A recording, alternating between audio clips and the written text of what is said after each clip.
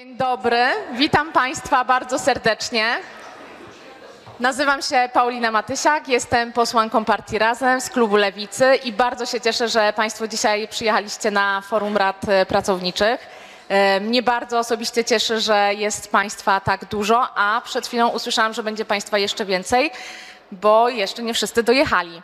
E, Chciałam powiedzieć, że te sprawy związane ze światem pracy, z pracownikami dla nas na Lewicy są bardzo istotne. Wspieramy Państwa postulaty, wspieramy Państwa w tym dążeniu do tego, żeby pracownicy mieli jak najwięcej do powiedzenia w swoich miejscach pracy, żeby mogli e, na te miejsca, na zakłady pracy e, wpływać.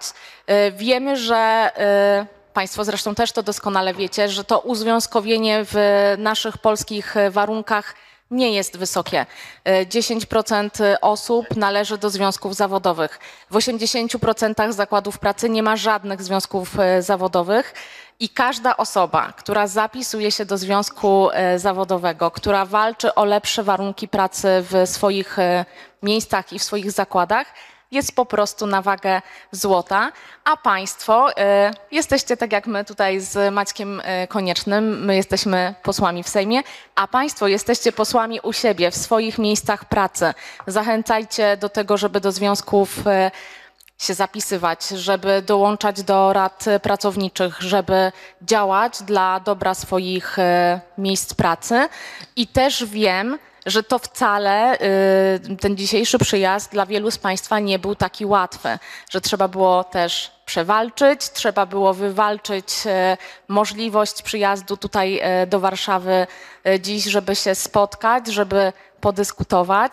Ja życzę Państwu bardzo owocnych obrad. Ze swojej strony mogę powiedzieć, że jeszcze do Państwa tutaj na pewno zajrzę. Nasze obowiązki związane z wykonywaniem mandatu no, będą musiały nas wymieść stąd na godzinę 10, bo mamy przewidziane e, głosowania, ale na pewno przez cały dzień będę e, gdzieś w pobliżu, będę do złapania. Zachęcamy do rozmowy z parlamentarzystami lewicy, także z parlamentarzystami innych ugrupowań, bo dzisiaj e, okoliczności mamy wyjątkowe. Spotkanie było e, przewidziane w takim tygodniu niesejmowym, ale ze względu na zmianę harmonogramu dzisiaj odbywa się także trzeci dzień e, 11 posiedzenia Sejmu, więc jest szansa złapać polityków gdzieś na korytarzu i e, Zachęcam Państwa do tego, żeby to robić, żeby o swoich postulatach e, z politykami rozmawiać e, i załatwiać ważne dla Państwa sprawy.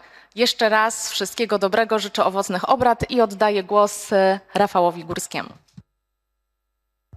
E, Dzień dobry Państwu. Rafał Górski, Instytut Spraw Obywatelskich. E, Państwo macie przed sobą program. Korekta jest taka, też od razu z góry chciałbym zaznaczyć. Tak jak pani posłanka przede mną powiedziała, zmiana nastąpiła duża w związku z tym, że dzisiaj miał być wolny mm, dzień od e, posiedzenia Sejmu, ale e, został on przeniesiony z piątku ubiegłego na dzisiaj. W związku z tym no, mamy takie wyzwania związane z obecnością e, części osób. E, Jak widzicie Państwo, jeszcze nie ma e, senatora Kwiatkowskiego na przykładowo, ale też nie będzie niestety pani minister Agnieszki Dziemianowicz-Bąk w związku właśnie z tymi zawirowaniami odnośnie terminów. Ja postaram się Państwu teraz przedstawić pokrótce te 18 lat w telegraficznym oczywiście skrócie kampanii na rzecz Rad Pracowników e, i też przedstawić e, najważniejsze punkty związane z nowelizacją ustawy o radach pracowników. Tak naprawdę do wczoraj jeszcze trwały e, przygotowania związane z tą nową nowelizacją. Nie byliśmy w stanie Państwu dostarczyć papierowej wersji e, tej nowelizacji, ale jeżeli ktoś z Państwa ma, nie wiem, smartfon albo podłączenie jakimś innym urządzeniem do internetu, to e, na stronie Instytut Spraw Obywatelskich.pl ta ustawa jest, ten projekt ustawy. Paneliści dzisiaj tutaj za stołem mają ją przed sobą wydrukowaną, ale ja za chwilę powiem o najważniejszych i kwestiach. To teraz przechodząc do e, prezentacji. Ja przede wszystkim na wstępie chciałbym jeszcze raz, e, tutaj pani poseł już mm, dziękowała Państwu, ale mimo wszystko ja chciałbym podziękować w imieniu Instytutu Spraw Obywatelskich za to, że Państwo po prostu są dzisiaj z nami. No i przez te wszystkie lata państwu się chciało, tak? bo od 2006 wie- roku, mm, Państwo na, pewnie wiecie najlepiej, no niestety, ale Radą Pracowników zawsze było pod górkę e, i chciałbym wszystkim pracownikom, którym się chce w Polsce i którzy nas też oglądają na transmisji na żywo, no po prostu podziękować za to, że, że im się właśnie chce i próbują e, o kwestie pracownicze e, w taki czy inny sposób, albo się o nie troszczyć, w zależności od sytuacji w zakładzie pracy. I chciałbym też, e, no, też podziękować wszystkim osobom, które były zaangażowane w organizację tego e, forum, piątego już forum Rad Pracowników, w szczególności naszemu pracownikowi Mariuszowi Ławnikowi, który notabene e, nomen omen był członkiem Rady Pracowników w mBanku i został w sposób bezprawny, brutalny zwolniony jakiś czas temu. E, Będzie prowadził e, drugi panel OSG i Radach Pracowników, więc będziecie Państwo też go mogli poznać. Idąc dalej, e, w 2006 rok e, ustawa o, o informowaniu e, pracowników i przeprowadzaniu z nimi konsultacji. Ja pamiętam jak dziś, jak byliśmy tutaj e, w Sejmie i walczyliśmy o to, żeby ta ustawa była no, jak najbardziej przyjazna pracownikom e, i e, chodziliśmy tutaj po komisjach sejmowych, mm, zwracaliśmy się do wszystkich parlamentarzystów, do wszystkich partii. mm, No niestety sytuacja w 2006 roku była taka, że ponad podziałami różnymi partyjnymi, różnymi e, niepartyjnymi ustawa została e, przyjęta w takiej formie, która ma wiele wad. I te wady Państwo dobrze najlepiej znacie, posługując się tą ustawą. E, I te wady chcielibyśmy skorygować. Pytanie, czy to będzie możliwe, czas pokaże, ale dzisiaj będziemy o tym dyskutować.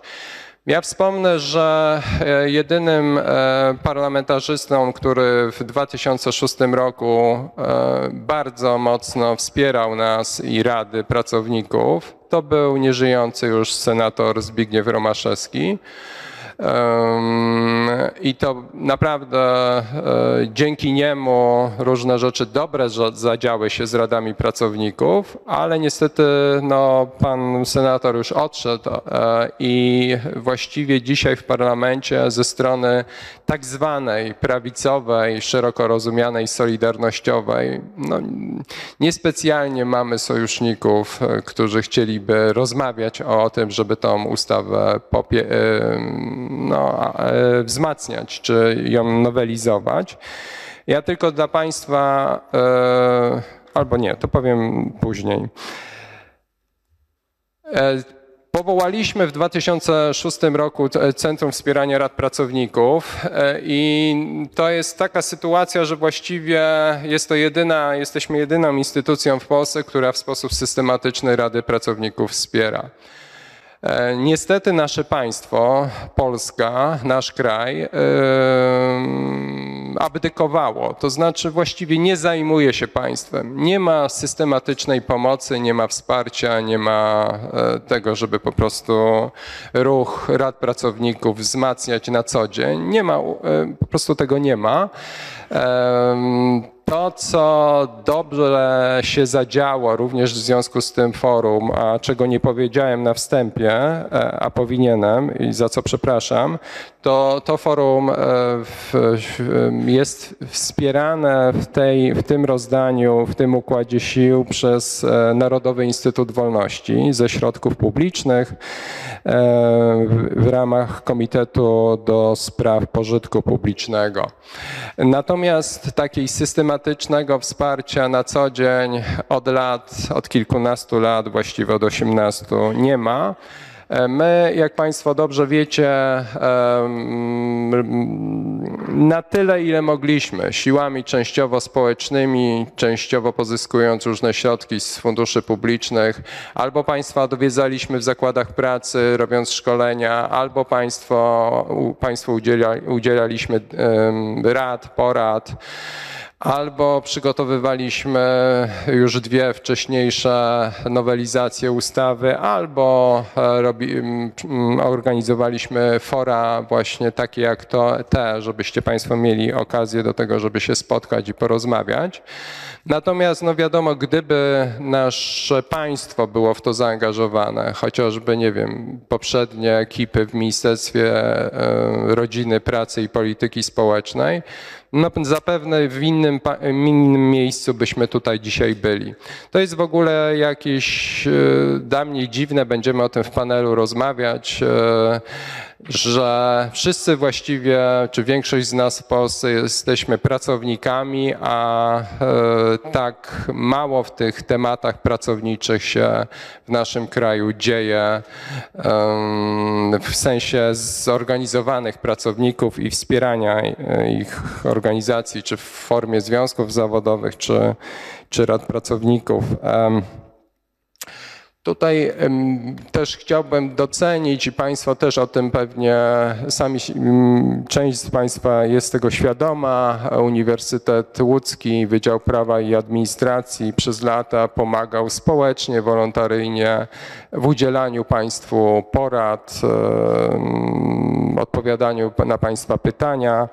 E, To się cały czas dzieje i tutaj też chciałbym podziękować kadrze zarówno em, akademickiej, jak i też studentom, którzy też byli w te procesy pomaganiu państwa zaangażowani. E, Tutaj pierwsze forum Rad Pracowników w Warszawie. Tych forów już było pięć.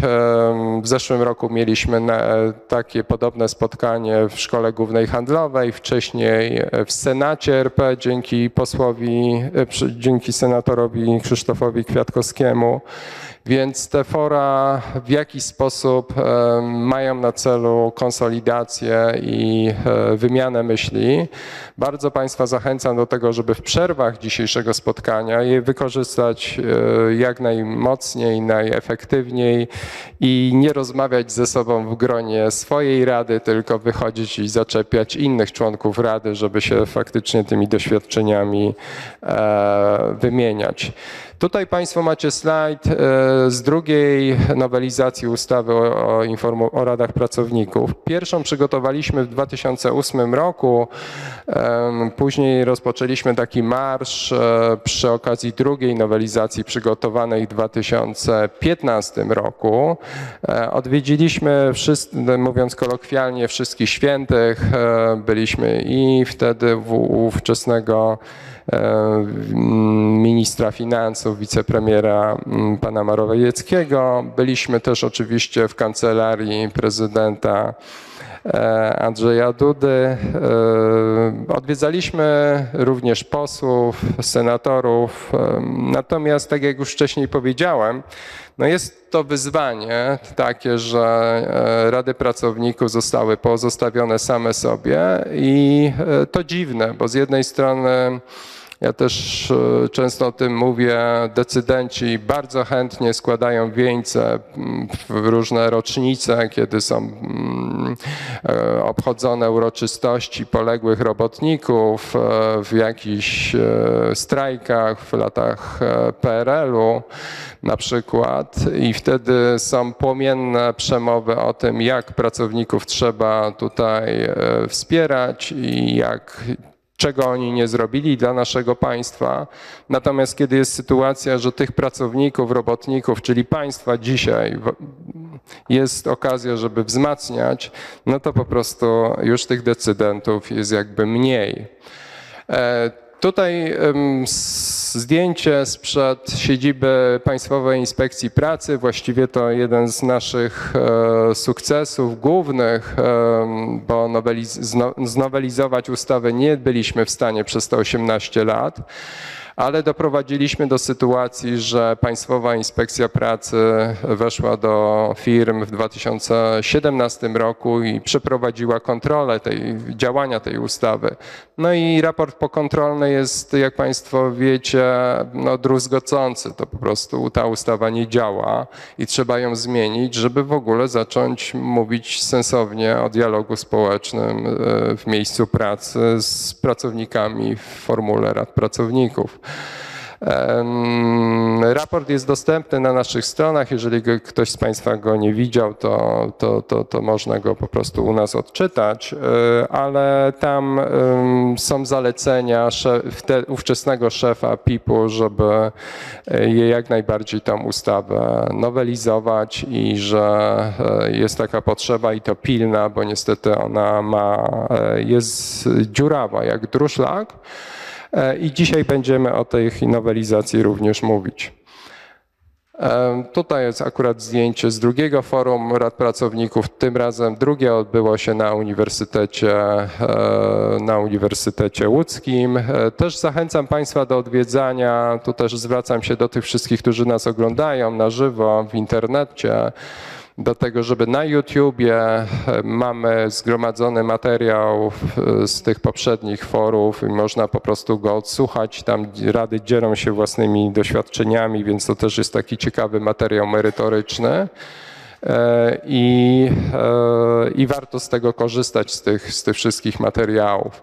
Tutaj mm, może to nie jest widoczne, ale mieliśmy e, właściwie jedyne takie pismo oficjalne e, z Ministerstwa Pracy e, z 2000, tylko już teraz nie pamiętam, który 19, dziękuję za podpórkę.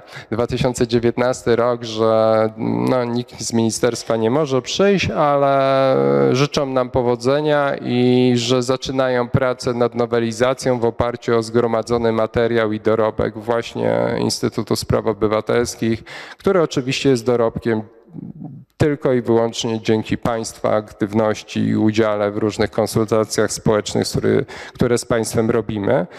No i to był 2019 rok. Dostaliśmy informację z Ministerstwa Pracy, że, że praca jest rozpoczęta i będzie. Mamy 2014, jak Państwo wiecie. E, d- d- przepraszam, 2024. No i, no i ta praca i nie ma jej. Po prostu jej nie ma. To znaczy Ministerstwo Pracy za poprzedniej ekipy no nie, niestety nie znalazło czasu na to, żeby znowelizować, żeby zacząć, żeby faktycznie zacząć pracę nad tą nowelizacją. Jest teraz nowy układ sił e, w parlamencie, e, rządzi e, koalicja, no jakby jest nowa ekipa. Bardzo tutaj dziękuję e, klubowi parlamentarnemu Lewicy, który no, wyszedł naprzeciw naszym prośbom, wnioskom i tak dalej, żeby się spotkać, porozmawiać.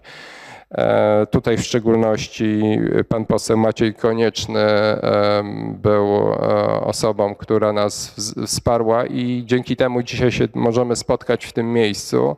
No bo tak się stało, że e, przez 18 lat sala była tak bardzo kolumnowa zajęta, że dopiero dzisiaj po prostu możemy się tu spotkać. Więc przy nowym układzie sił, nowym rozdaniu, mamy nadzieję, że to też będzie nowe otwarcie. My, jak Państwo widzicie, nie jesteśmy sprinterami, e, jesteśmy maratończykami. 18 lat to już trochę długo, natomiast no, też przypilnujemy tą ekipę e, i zobaczymy, ile warte są deklaracje o popieraniu i wzmacnianiu pracowników. Tym razem no, jakby przy nowym układzie sił. Zobaczymy, co się z tego wykluje. Mamy nadzieję, że e, tym razem będzie inaczej niż przy okazji e, rządów Zjednoczonej Prawicy, ale jak będzie w rzeczywistości, to tak jak powiedziałem, czas pokaże. Tutaj z kolei z biuletynu naszego o radach pracowników, taka pierwsza strona, dotycząca małej nowelizacji, którą chcieliśmy przeprowadzić kilka lat temu w związku z koronawirusem. E, Pomagał nam wtedy senator e, Krzysztof Kwiatkowski e, i e, byliśmy już właściwie blisko, żeby e, ta nowelizacja trafiła z Senatu do Sejmu i tam była, no musiała być, by, musiałaby być poddana jakimś pracom. No niestety przegraliśmy w Senacie e, kilkoma, dwoma głosami. Jak to się stało, że przegraliśmy, kiedy w Senacie, jak Państwo wiecie, w zeszłej kadencji większość miała e, opozycja. No to już jest rozmowa na kuluary, nie chciałbym o tym publicznie mówić, ale przegraliśmy i sprawa jakby nie wyszła poza e, Komisję e, Ustawodawczą Senatu. E, Chciałbym tylko dodać też, że e, oczywiście te wszystkie lata to też jest taka mozolna praca think tankowa, czyli ekspercka, publikacje, raporty, współpraca między innymi e, z Szkołą Główną Handlową, z profesorem Andrzejem Zybałą, z profesorem Wratnym i tak mógłbym wymieniać bez końca. Jest dorobek, e, jest, są konkretne rozwiązania, są argumenty, między innymi tutaj ten Państwo widzicie raport o tym, no dlaczego warto wzmacniać i dlaczego partycypacja pracownicza w miejscu pracy służy. I to nie chodzi o to, że służy tylko pracownikom, bo ja jestem daleki od tego, żeby idealizować pracowników, a uważać za zło e, zarządy. Nie, po prostu wszyscy jesteśmy ludźmi. Pytanie jest, czy jest, chcemy się spotkać w jakimś miejscu i wspólnie wzmacniać e, firmy, w których pracujemy, e, ale też gospodarkę i nasze państwo. No to z tym różnie wychodzi, natomiast e, argumenty na, na, za tym, że partycypacja pracownicza w miejscu pracy służy e, zarówno dobrostanowi pracowników, e, innowacyjności firm, jak i też e, si- sile gospodarki poszczególnych krajów, to te dowody są i to od lat one leżą, są w różnych raportach i to jest kwestia e, tylko albo aż woli politycznej. E, Tutaj, e, no może to jakaś taka, e, to nie jest reklama, tylko bardziej pa- Państwo pewnie kojarzycie tą, tą firmę. No ona jak się wczytać w, w meandry kultury Toyoty, to między innymi zakłada to, że z pracowników się słucha. Pracownicy składają swoje, mm, czy zgłaszają swoje uwagi a propos produkcji czy a propos funkcjonowania firmy i tam e, Toyota akurat odniosła sukces dzięki temu, że, że właśnie ta partycypacja pracownicza e, w tej kulturze DNA, w DNA firmy jest. Tutaj z kolei e, dla zarządów myślę, że to łatwiejsze do rozpoznania Steven Covey. Ja czasami jestem pytany przez zarządy, no dobrze, ale e, po co w ogóle ta Rada Pracowników e, i jak w ogóle dojść do jakiegoś porozumienia z radami pracowników. Covey, który jest uznawany za no, dość taką em, symboliczną ikonę zarządzania, e, mówił o tak zwanym trzecim rozwiązaniu, czyli przychodzi Zarząd ma jakiś pomysł na coś, co trzeba zrobić w firmie, pracownicy mają drugi pomysł, a trzecie rozwiązanie to jest takie, że po prostu z tych dwóch pomysłów e, na poziomie dialogu i w formie dialogu wychodzi ten trzecie, trzecie rozwiązanie. Ani pierwsze rozwiązanie zarządu nie jest najlepsze, ani drugie nie jest najlepsze pracowników, tylko to wspólne znajdywanie trzeciego rozwiązania. E, A tutaj e, zadałem dzisiaj o czwartej rano czatowi GBT mm, pytanie o ile miejsc pracy e, stracimy, kiedy, kiedy rozpowszechni się już całkowicie sztuczna inteligencja. I tutaj Państwo macie, macie jedną z odpowiedzi. 400, oś- od 400 do 800 milionów miejsc pracy.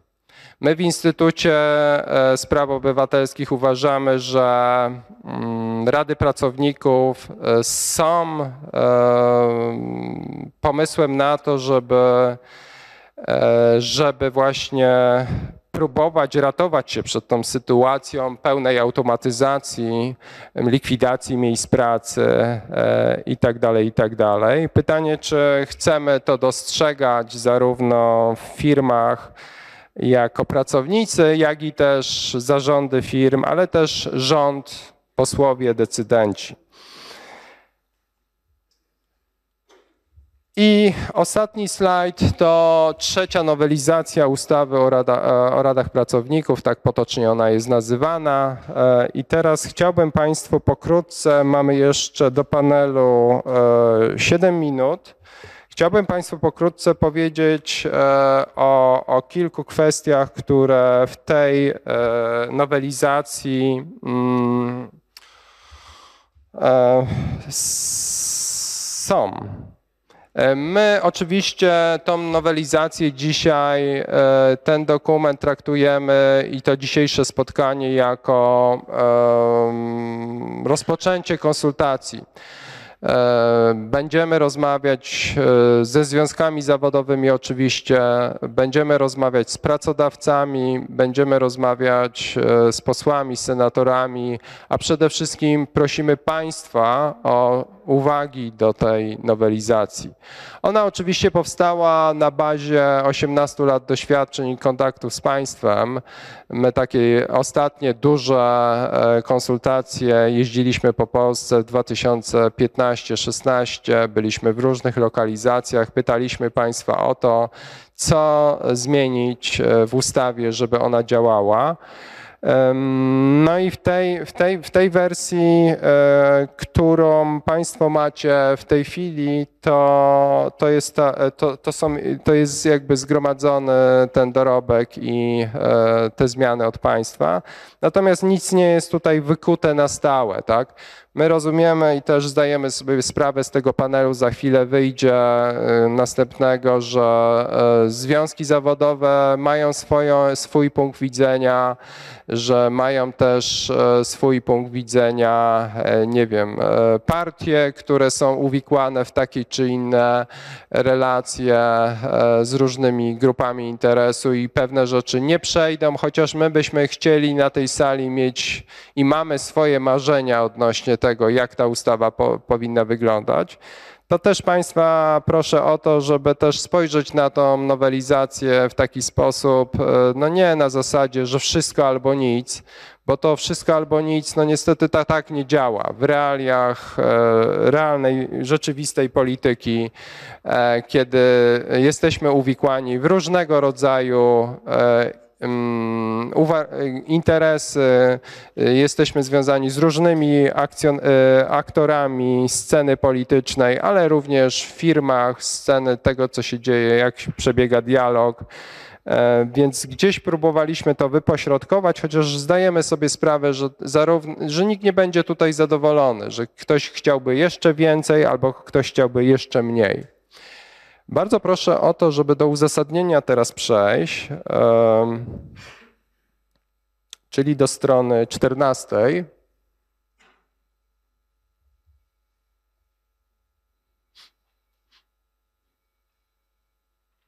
Do tego żółtego fragmentu. E, tak jak powiedziałem, no już, ale ja to powtórzę. Mm, z badań wynika, że bez e, dialogu społecznego na poziomie firm e, no nie ma konkurencyjnej gospodarki.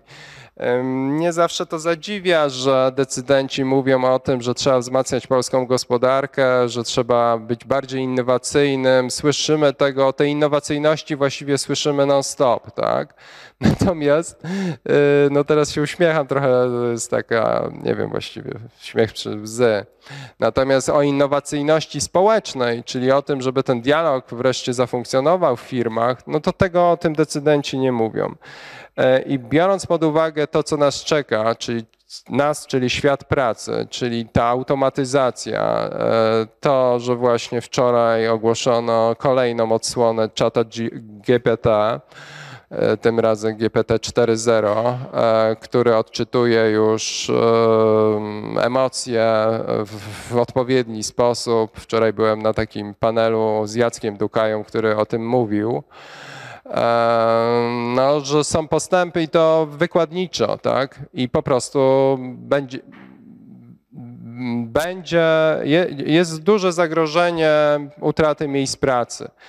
E, I, e, no i po prostu pytanie, e, co z tym możemy zrobić, bo na pewno nie będzie tak, jak kiedyś mówiono nam i się mówi do dzisiaj, że te miejsca pracy obronimy, bo przecież kiedyś jak była maszyna parowa, to, to też obroniono. No to są zupełnie inne uwarunkowania. Ja bardzo Państwu polecam tutaj książkę Świt robotów, wydana 6-7 lat temu w Polsce. E, Coraz bardziej się to sprawdza, to co autor napisał, e, że no nie będzie powtórki z rozrywki. To znaczy, że ludzie, którzy stracą dzisiaj pracę, czy za chwilę stracą, odnajdą je w innych sektorach, tą swoje, te miejsca pracy. Tak nie będzie, ale to jest być może na panel za chwilę. E, Proszę o następną. em, To co, to, co jest jeszcze ważne, e, strona 16, e, to kwestia tego, że no, czy nam się to podoba, czy nie, w zależności od, tego, od miejsca siedzenia, w 85% e, firm związków zawodowych nie ma. Ja od razu powiem, no, że ja jestem pełny, y, jestem bardzo za, żeby związki zawodowe w Polsce były silne, w szczególności tam związki zawodowe, takie związki, które mają liderów, którzy no, mają wysokie poczucie własnej wartości, natomiast niskie poczucie własnej ważności, czyli są liderami e, w prawdziwym tego słowa znaczeniu. Natomiast dzisiaj jest sytuacja taka, że w 85% przedsiębiorstw tych związków nie ma. No i, i, i, i co, co, co w związku z tym można zrobić? O tym będziemy za chwilę rozmawiać, natomiast to jest jakby taki ważny element uzasadnienia tej ustawy, że, że jest taka luka. E, Kolejny element, który chcielibyśmy zmienić, to może taki e, wydawać się Państwu taki bardzo mm, symboliczny, ale te symbole mają znaczenie. W 2006 roku naszym zdaniem specjalnie, specjalnie w tytule e, ustawy nie znalazł się termin Rada Pracowników. Dlaczego? Dlatego, żeby w ogóle w świadomości społeczeństwa nie było czegoś takiego jak instytucja Rada Pracowników. Tak? Zrobiono to po to, e, zrobiono, na, nazwa jest e, ustawa o informowaniu pracowników i przeprowadzaniu z nimi konsultacji. My chcemy, e, chcielibyśmy, żeby ta ustawa mi- brzmiała e, ustawa o radach pracowników, informowaniu pracowników i przeprowadzaniu z nimi konsultacji. Naprawdę takie małe zmiany mają duże znaczenie na poziomie propagandy. My do dzisiaj wiemy, że po prostu społeczeństwo nie jest, i ludzie w zakładach pracy nie są świadomi, że jest taka instytucja, że można ją zakładać, że ona może coś zdziałać i że i tak dalej, i tak dalej. Więc to jest taka mała zmiana. Ja oczywiście nie mówię o wszystkich zmianach, tylko powiem Państwu, bo już właściwie czas mi się skończył, ale jeszcze dokończę te takie kluczowe, bo zmian jest dużo, wszystkie są w uzasadnieniu. Tak jak powiedziałem, Instytut Spraw Obywatelskich.pl, tam Państwo macie nowelizację i będziemy Państwa prosić o, em, o, o, o nadsyłanie uwag. Kolejna sprawa to jest e, taka, żeby doprecyzować proces informowania, który niestety w tej chwili e, to informowanie kuleje w zakładach pracy. Również ku- kuleje kwestia konsultacji z radami. My chcemy to i w tej propozycji ustawy chcemy to uszczegółowić zgodnie i nie wymyślamy niczego od nowa, koła, koła na nowo nie wymyślamy. Chodzi o to, żeby oprzeć się na zapisach e, z dyrektywy z 2002 roku, na podstawie której polska usta- e, ustawa została e, przygotowana. Kolejny element, proszę o stronę 22. Mm. Chodzi też e, w, tym, w, tym, w tej zmianie w artykule pierwszym podpunkt siódmy chodzi o e, wzmocnienie rad poprzez e, e, wpisanie wprost kwestii dotyczących wspierania finansowego przez pracodawców rad pracowników i żeby one to wspiera, ws- wielkość tego wsparcia była zależna od wielkości pracodawców. E, To jest taka propozycja, która wynika z, z Państwa głosów i e, z, e, z, z konsultacji właśnie społecznych. Następny punkt, em, który mm, no, może wywołać i myślę, że mam nadzieję, że wywoła dyskusję na panelu za chwilę. E, pro- m, Proponujemy, żeby e, w Polsce e, obligatoryjnie rady pracowników były w każdej firmie powyżej 50 osób. To może e, rodzić e, spore dyskusje, e, myślę, wyzwania, w szczególności jeśli chodzi o związki zawodowe, ale jest dzisiaj okazja, żeby o tym porozmawiać, posłuchać różnych argumentów. My się przy tym nie upieramy, natomiast w związku z tym, że państwo i pracownicy, nie tylko z rad pracowników, ale w ogóle pracownicy, zgłaszali nam te, przez te wszystkie lata taką potrzebę, e, zapisaliśmy, ten, e, zapisaliśmy tą zmianę. Ym, Kolejna zmiana to strona 25.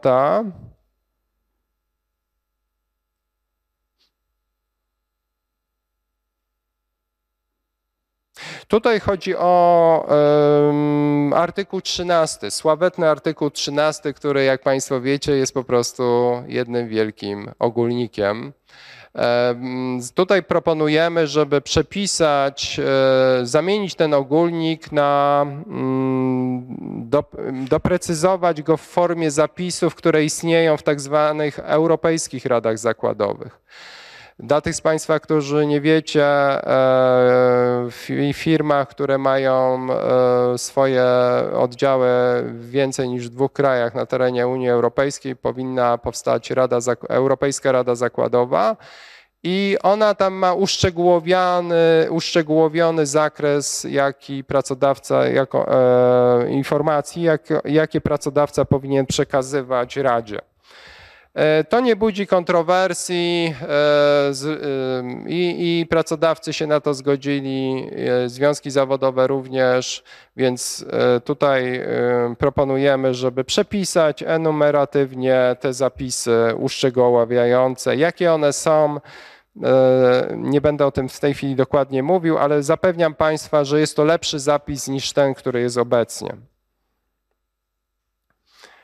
E, I to samo dotyczy e, kwestii szerszego katalogu spraw, które są poddane konsultacjom. I zmierzając do końca, e, artykuł 16.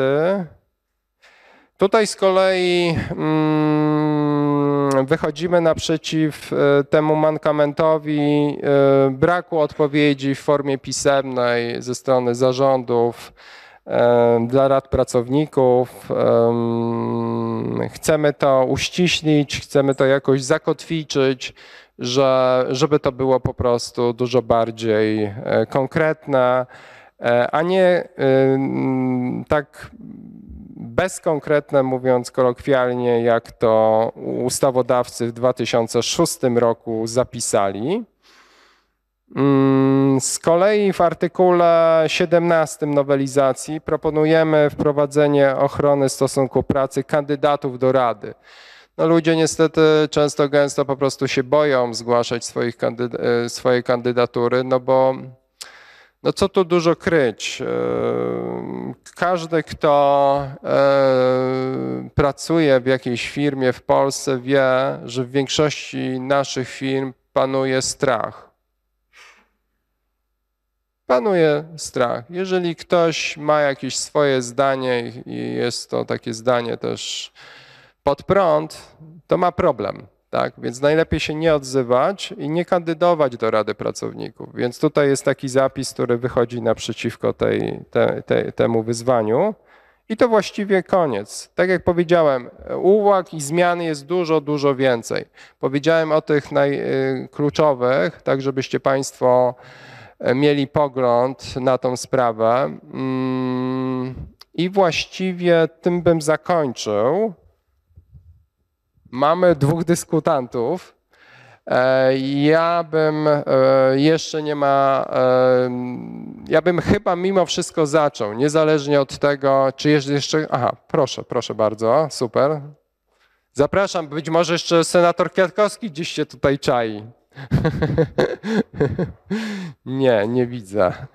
E, Dobrze, no mam nadzieję, że senator Kwiatkowski do nas dotrze. No niestety to posiedzenie parlamentu nam się po prostu e, po, pozmieniało wszystko. No dobrze, e, panowie. mm, Prośba, mamy teraz panel pod tytułem Dlaczego potrzebujemy rad pracowników? I ja bym chciał, żebyście państwo sami przedstawili się trochę inaczej. Chciałbym zrobić niż standardowo, że ja odczytam jakąś formułkę bio o panach i panach zasługach i dorobku, ale odpowiedzieli na takie pytanie, przedstawiając się e, z sali i publiczności. Co takiego się stało w Państwa życiu, że związaliście się z rynkiem pracy i ze światem ludzi pracy? Proszę. Dobrze, dziękuję bardzo za zaproszenie. Maciej Witucki, y, prezydent Konfederacji y, Lewiatan, czyli strona pracodawców. E, Ja z rynkiem pracy jestem związany po prostu dlatego, że byłem jego uczestnikiem od samego początku, najpierw jako pracownik, a później jako pracodawca, a teraz reprezentant pracodawców i, i, i z tego powodu rozumiem tutaj jestem. Bardzo mi były tutaj e, miłe te wszystkie słowa o dialogu, które słucha, których tutaj e, słuchałem e, z boku, bo rzeczywiście ten dialog, no, żyjemy w trzeciej dekadzie XXI wieku, więc ja myślę, że wieczne odwoływanie się do modelów, e, do modeli XIX-wiecznych e, jakby organizacji firm i organizacji pracy, ja nie twierdzę, że one nie istnieją i, i że w Polsce nie ma takich przykładów, ale jednak jak patrzę sobie na, na, na te firmy, które ja znam, to naprawdę istnieje rosnąca świadomość tego, że jesteśmy w tej trzeciej dekadzie XXI wieku, e, że e, bez dialogu z pracownikami firmy się dzisiaj nie da prowadzić z różnych pokoleniowo problemów. Z jednej strony z tymi pracownikami, powiedzmy, z mojego pokolenia, no bo, no bo zawsze taki dialog istniał, tam jest, rozumiem, związkowienie też troszkę wyższe, a z tymi młodymi, bo jak ich nie będzie motywowało debaty, oni nie zrozumieją, po co pracują, to sobie po prostu pójdą gdzie indziej. Y, Bo dzisiaj pracują oczywiście na wynagrodzenie. Mam świadomość, że my też żyjemy w bańce warszawskiej, że to w innych mniejszych miejscowościach może trochę inaczej wyglądać, ale jednak ta konkurencja na rynku pracy jest tak duża, że ten elementy, te elementy takiej miękkiej, miękkiego HR-u, dialogu i rozmowy, one są y, dzisiaj niezbędne po to chociażby, żeby to młode pokolenie jakkolwiek utrzymać w pracy. Już nie mówię o tym, żeby ich y, motywować. Y, Stąd ja nie mam żadnych wątpliwości, że taki dialog jest potrzebny. A właściwie jeśli chodzi o temat, dlaczego potrzebujemy rad pracowników, to jak sobie myślałem nad tym, myślałem i różnych moich doradców mądrych e, e, z Lewiatana próbowałem, próbowałem zaprzęgnąć do, do odpowiedzi na to trudne pytanie, to jedyną odpowiedź, którą dosta, mogłem dostać, to, to z tym pytaniem do związków zawodowych. E, I, i, nie, ale to tak, na- tak na serio, bo powiedziałem po pierwsze, rozumiesz, że jeszcze mogę, tak? Tak, tak, proszę, Jeszcze mogę, proszę. Dobrze.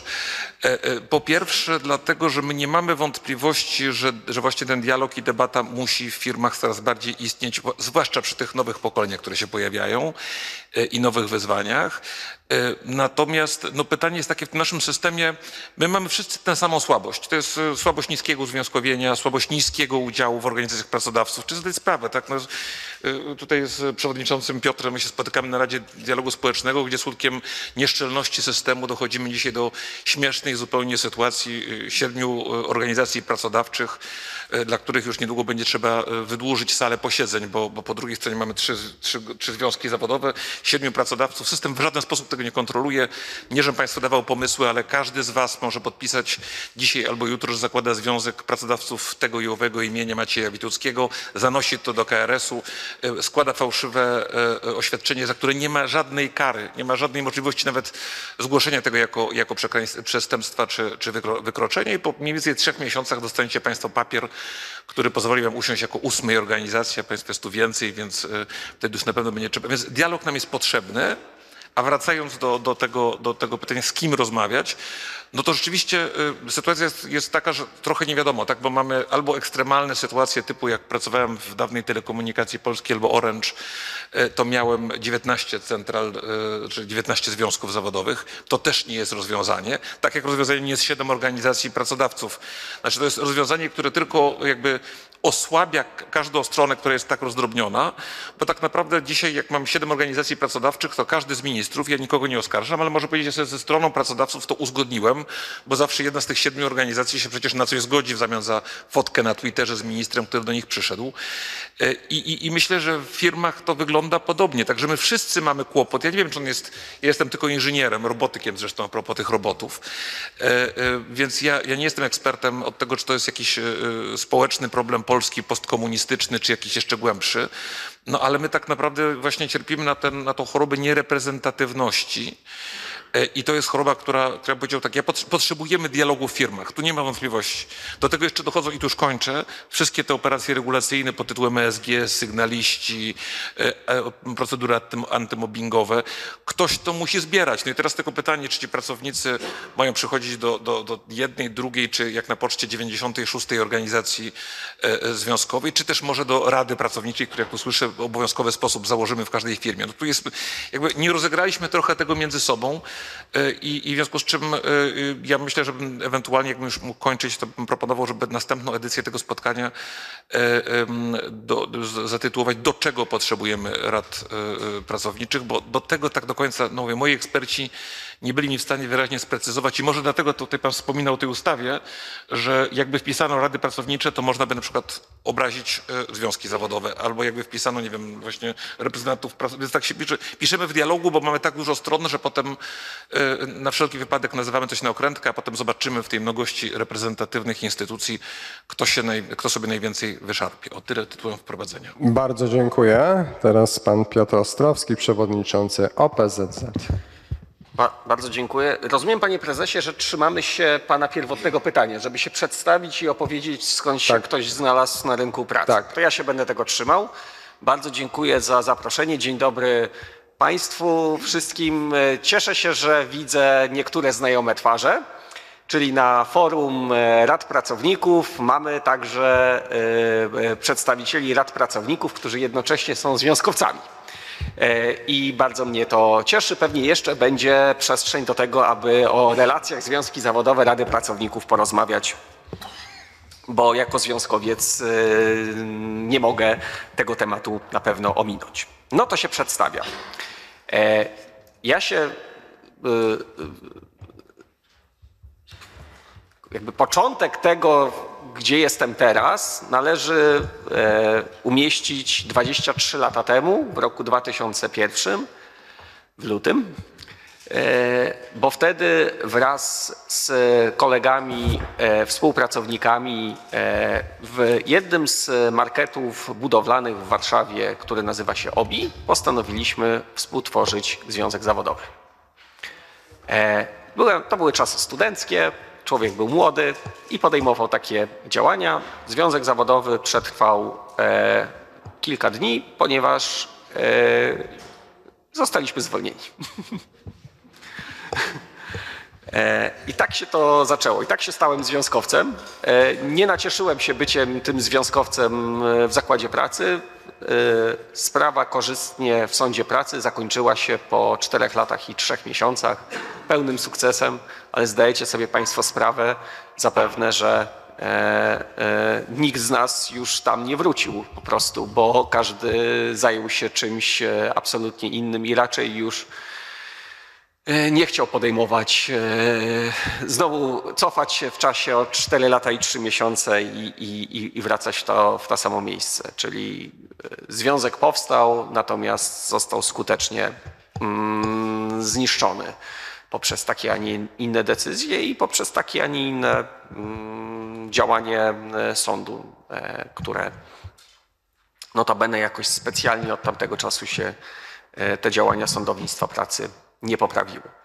E, To był związek zawodowy, który należał do ogólnopolskiego porozumienia związków zawodowych. Ten związek zawodowy, który istnieje w dalszym ciągu, nazywa się Konfederacja Pracy.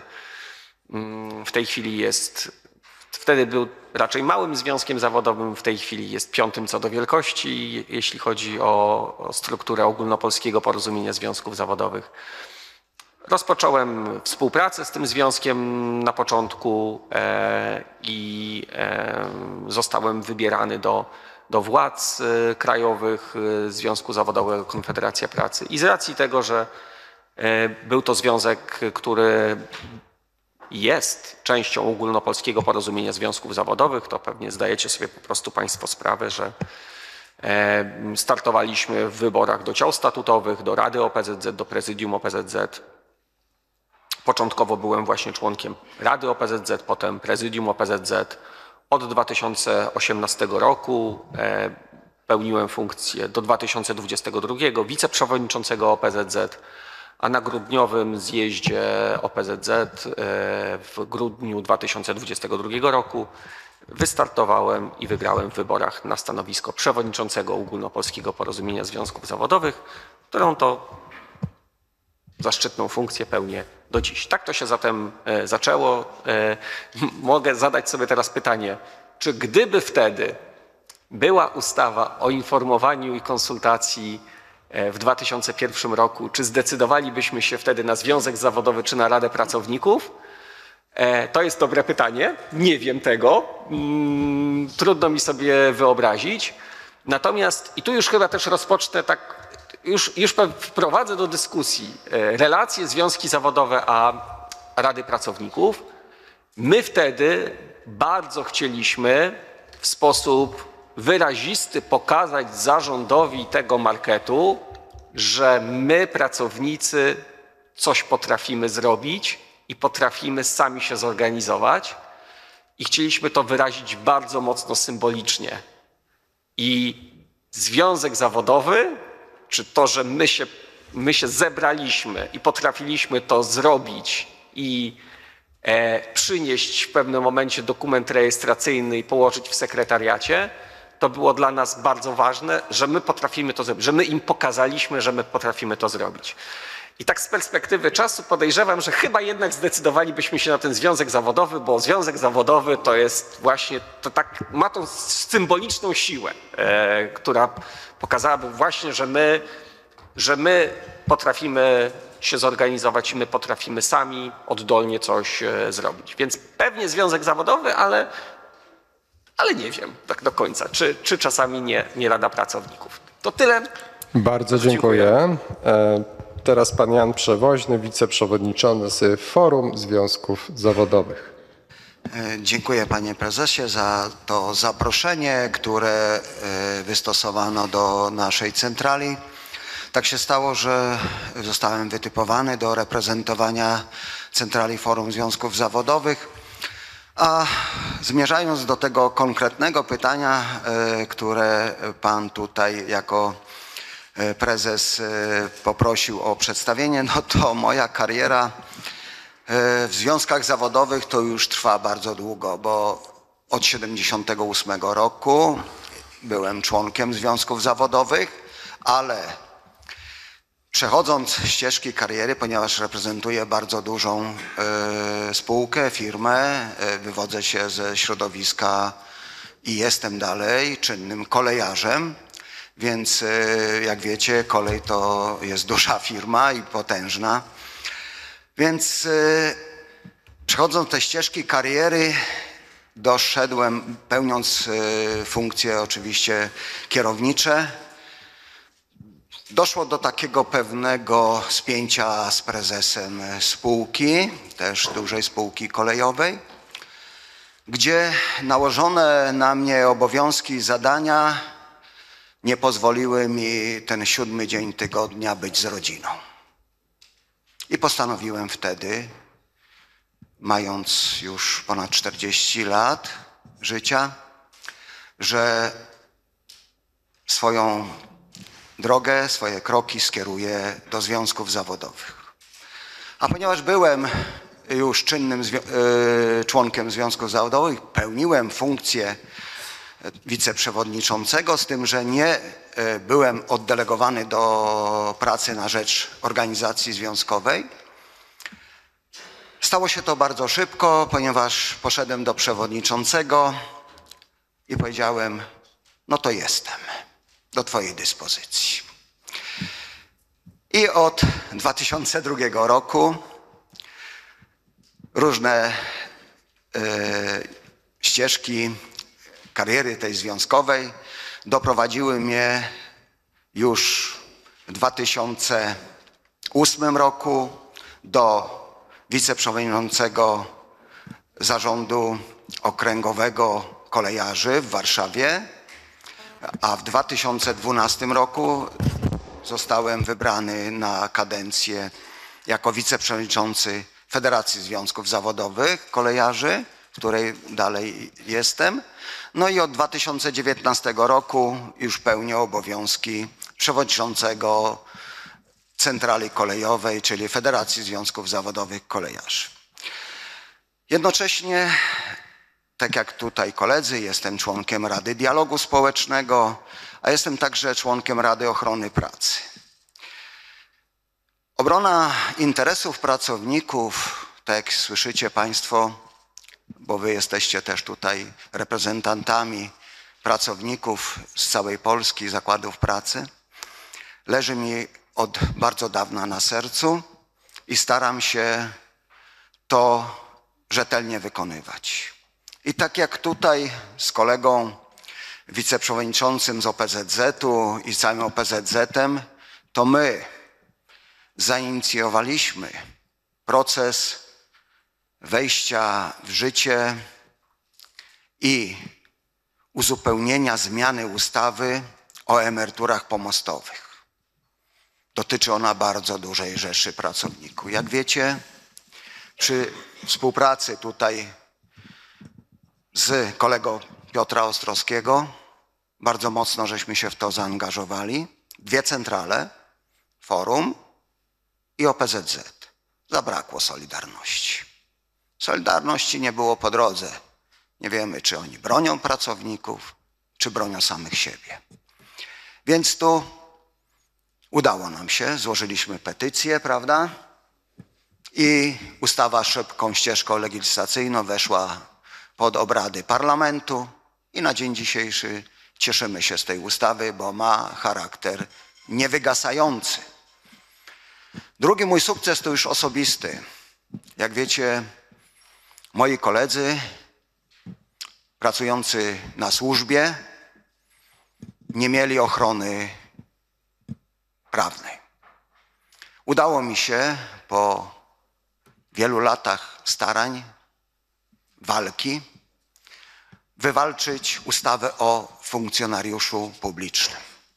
I zostali już od czerwca ubiegłego roku objęci tą ustawą i w tej chwili, tak jak każdy urzędnik państwowy, policjant czy inny funkcjonariusz, są to z urzędu objęci ustawą o funkcjonariuszu publicznym i w tej chwili my, jako strona związkowa, jako związkowcy, nie musimy stawać przed sądami pracy, bronić ich godności, mienia i osobistego godne, godności i szacunku, to już z urzędu. Prokuratura wszczyna sprawę i prowadzi dalej postępowanie. Także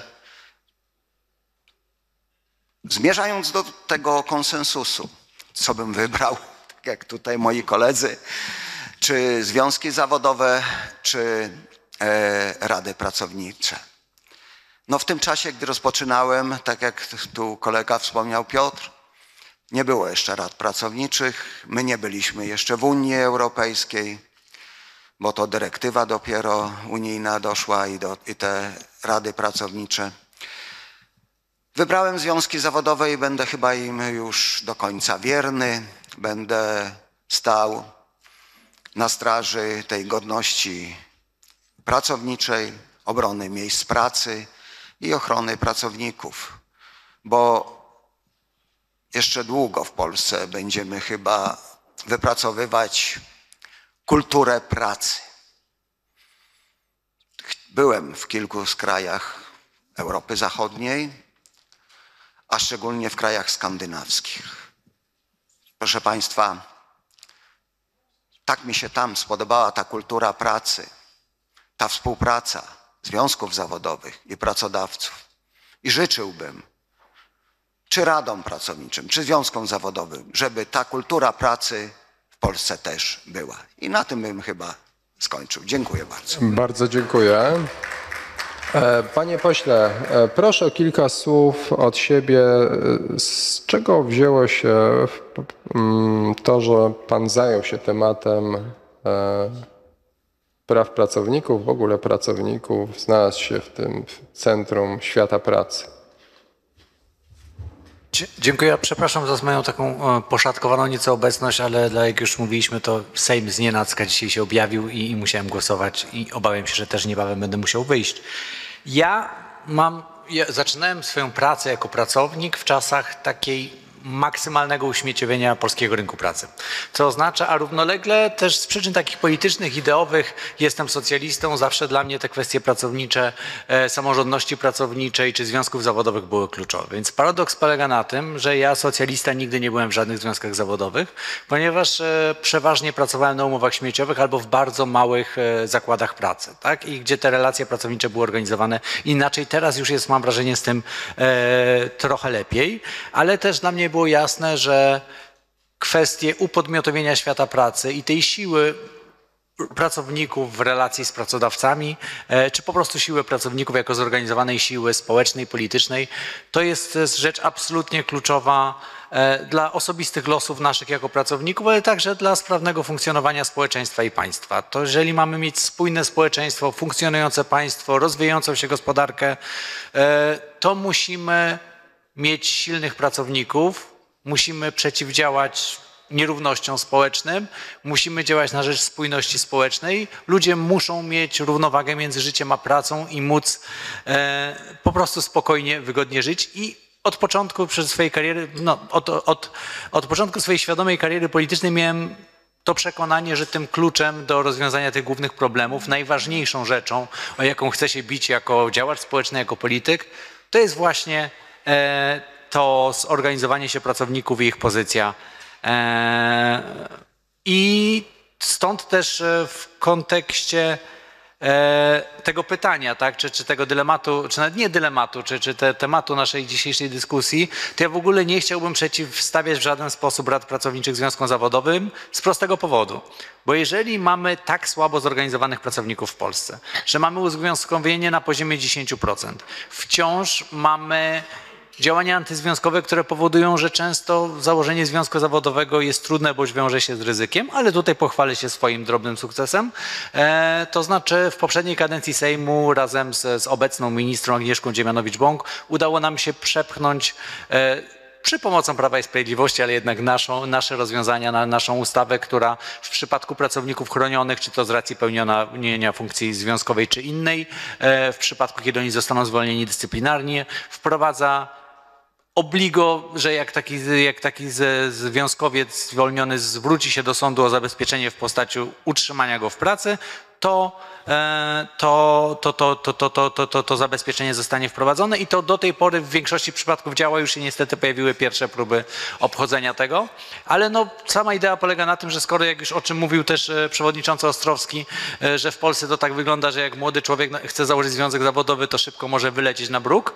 E, I to jest bariera przed organizacją, ale to dotyczy także innych e, pracowników objętych ochroną. To chcieliśmy temu przeciwdziałać na zasadzie, żeby pracodawcy się nie opłacało wyrzucać, bo jeżeli bezprawnie wyrzuci e, dyscyplinarnie, to i tak ten pracownik będzie na zakładzie do wyroku sądu. Teraz, o czym mówił też przewodniczący Ostrowski, ta przewaga pracodawcy w istotnej mierze polegała na tym, że pracownika nawet bezprawnie można było wyrzucić, a biorąc pod uwagę, że rozprawa będzie trwała z 5 lat, to de facto cel został osiągnięty, czy to organizacja związkowa, czy, czy, czy inny funkcyjny pracownik zostaje wywalony poza bramę zakładu i pracodawca ma problem z głowy, w związku z czym nawet kancelarie prawnicze e, działające na rzecz nieuczciwych pracodawców wyspecjalizowały się i doradzały, słuchajcie, to jest nielegalne, ale się nie przejmujcie i tak się wam to opłaci. Udało się to znacząco utrudnić, to tylko taki mm, na marginesie, E, ale w kontekście tego dzisiejsze- dzisiejszego spotkania postaram się powiedzieć mniej więcej wszystko, bo boję się, że nie będę miał już okazji, e, że po pierwsze, nie przeciwstawiać rad pracowników związkom zawodowym, bo po prostu świat pracy w Polsce jest za mało zorganizowany. Różne formy mogą w różnych miejscach działać, mogą działać wspólnie, w sensie się dopełniać. Może być tak, że, e, że tam, gdzie jest Rada Pracownicza i pracownicy się z, z, zorganizują w ten sposób, wydaje mi się bardziej prawdopodobne, że powstanie również związek zawodowy niż mniej prawdopodobne, więc po prostu nie przeciwstawiać e, jednego rozwiązania drugiemu. Jeszcze a propos tej, tej młodości i, i wejścia, to dla mnie jako młodego, ideowego, demokratycznego socjalisty zawsze ekscytująca była perspektywa zarządzania pracowniczego po prostu, to znaczy udziału pracowników w zarządzaniu przedsiębiorstwem. I oczywiście to też nie jest zero-jedynkowe, to się skaluje w Niemczech w dużo większym stopniu w zakładach e, e, pracownicy mają po prostu wpływ na ich zarządzanie. W Polsce, jak wiemy, nawet trudno uzyskać podstawowe informacje na temat tego, jak, e, jak zakład pracy działa. Dlatego to jest kolejny ten element, który jest dla mnie ważny, to znaczy współudział pracowników w zarządzaniu firmą. I tutaj, jeżeli myślę o tych postulatach e, e, dotyczących e, rad pracowniczych i wzmocnienia, to to jest jakiś krok w tym kierunku. I tutaj to ta kwestia informowania obowiązkowego to jest kluczowa rzecz, bo to są realne narzędzia. Jeżeli pracownicy w, zorganizowani jako Rada Pracowników mają dostęp do informacji, to daje im już narzędzia e, wpływania na to, jak ten zakład jest prowadzony i to jest postulat, który, e, który, to, to, który należy oczywiście popierać i, i to, to, informowanie należy wzmocnić. Tak samo, jeżeli chodzi o, o ten drugi postulat kluczowy, czyli e, obowiązkowe Rady Pracowników w przedsiębiorstwach e, powyżej 50, to wydaje mi się, że to jest dobry, e, dobre rozwiązanie. E, I raz jeszcze, jeżeli większość polskich zakładów pracy, jeżeli chodzi o organizację pracowników, to jest pustynia, to wprowadzenie systemowego rozwiązania obowiązkowego e, to jest ten krok, tak? Bo to jest też takie może mało romantyczne myślenie, że, ale jest tak, że nie wszystko da się zrobić oddolnie. Czasami, kiedy coś jest obowiązkowe, ktoś tego nie czuje, ale w to wejdzie i nagle się okaże, że, że znajdą się nowi ludzie, którzy będą chcieli e, tych pracowników reprezentować, a mam poczucie, że z tak z doświadczenia współpracy czy ze związkami zawodowymi, czy interwencji różnych, które podejmuję w przypadku konfliktów w zakładach pracy, że często chodzi o znalezienie tego człowieka, który to poczuje, tak? I on sobie pomyśli, że on chce być liderem, e, on chce być, czy liderką tych pracowników, on chce walczyć o, e, o tą drużynę, którą ma na zakładzie i że to jest takie trochę czasami łowienie talentów, tak? Jeżeli będzie, jak ja patrzę na te obowiązkowe rady pracowników, to będzie taka bardzo szeroka sieć e, roz, rozpostarta nad polskim światem pracy, która, której, która wyłowi bardzo wiele talentów, zaangażowanych ludzi, którzy później będą efektywnie reprezentować pracowników i wydaje mi się tutaj to największą zaletą tego rozwiązania, a potem ci ludzie już na tej drodze reprezentowania pracowników będą dokonywać różnych wyborów, będą i związki zawodowe, i rady pracowników, i E, i będzie po prostu lepiej. Dziękuję. Dziękuję. Dołączył do nas e, pan senator Krzysztof Kwiatkowski. Panie senatorze, pytanie mm, wstępne jest takie, co zdecydowało w pana życiu o tym, że mm, zajął się pan tematem rad pracowników i że chociażby umożliwił nam e, ten temat, wniesienie tego, wniesienie tego, umożliwił Pan wniesienie tego tematu pod obrady Senatu kilka lat temu. E, szanowni Szanowni Państwo, o, teraz się udało.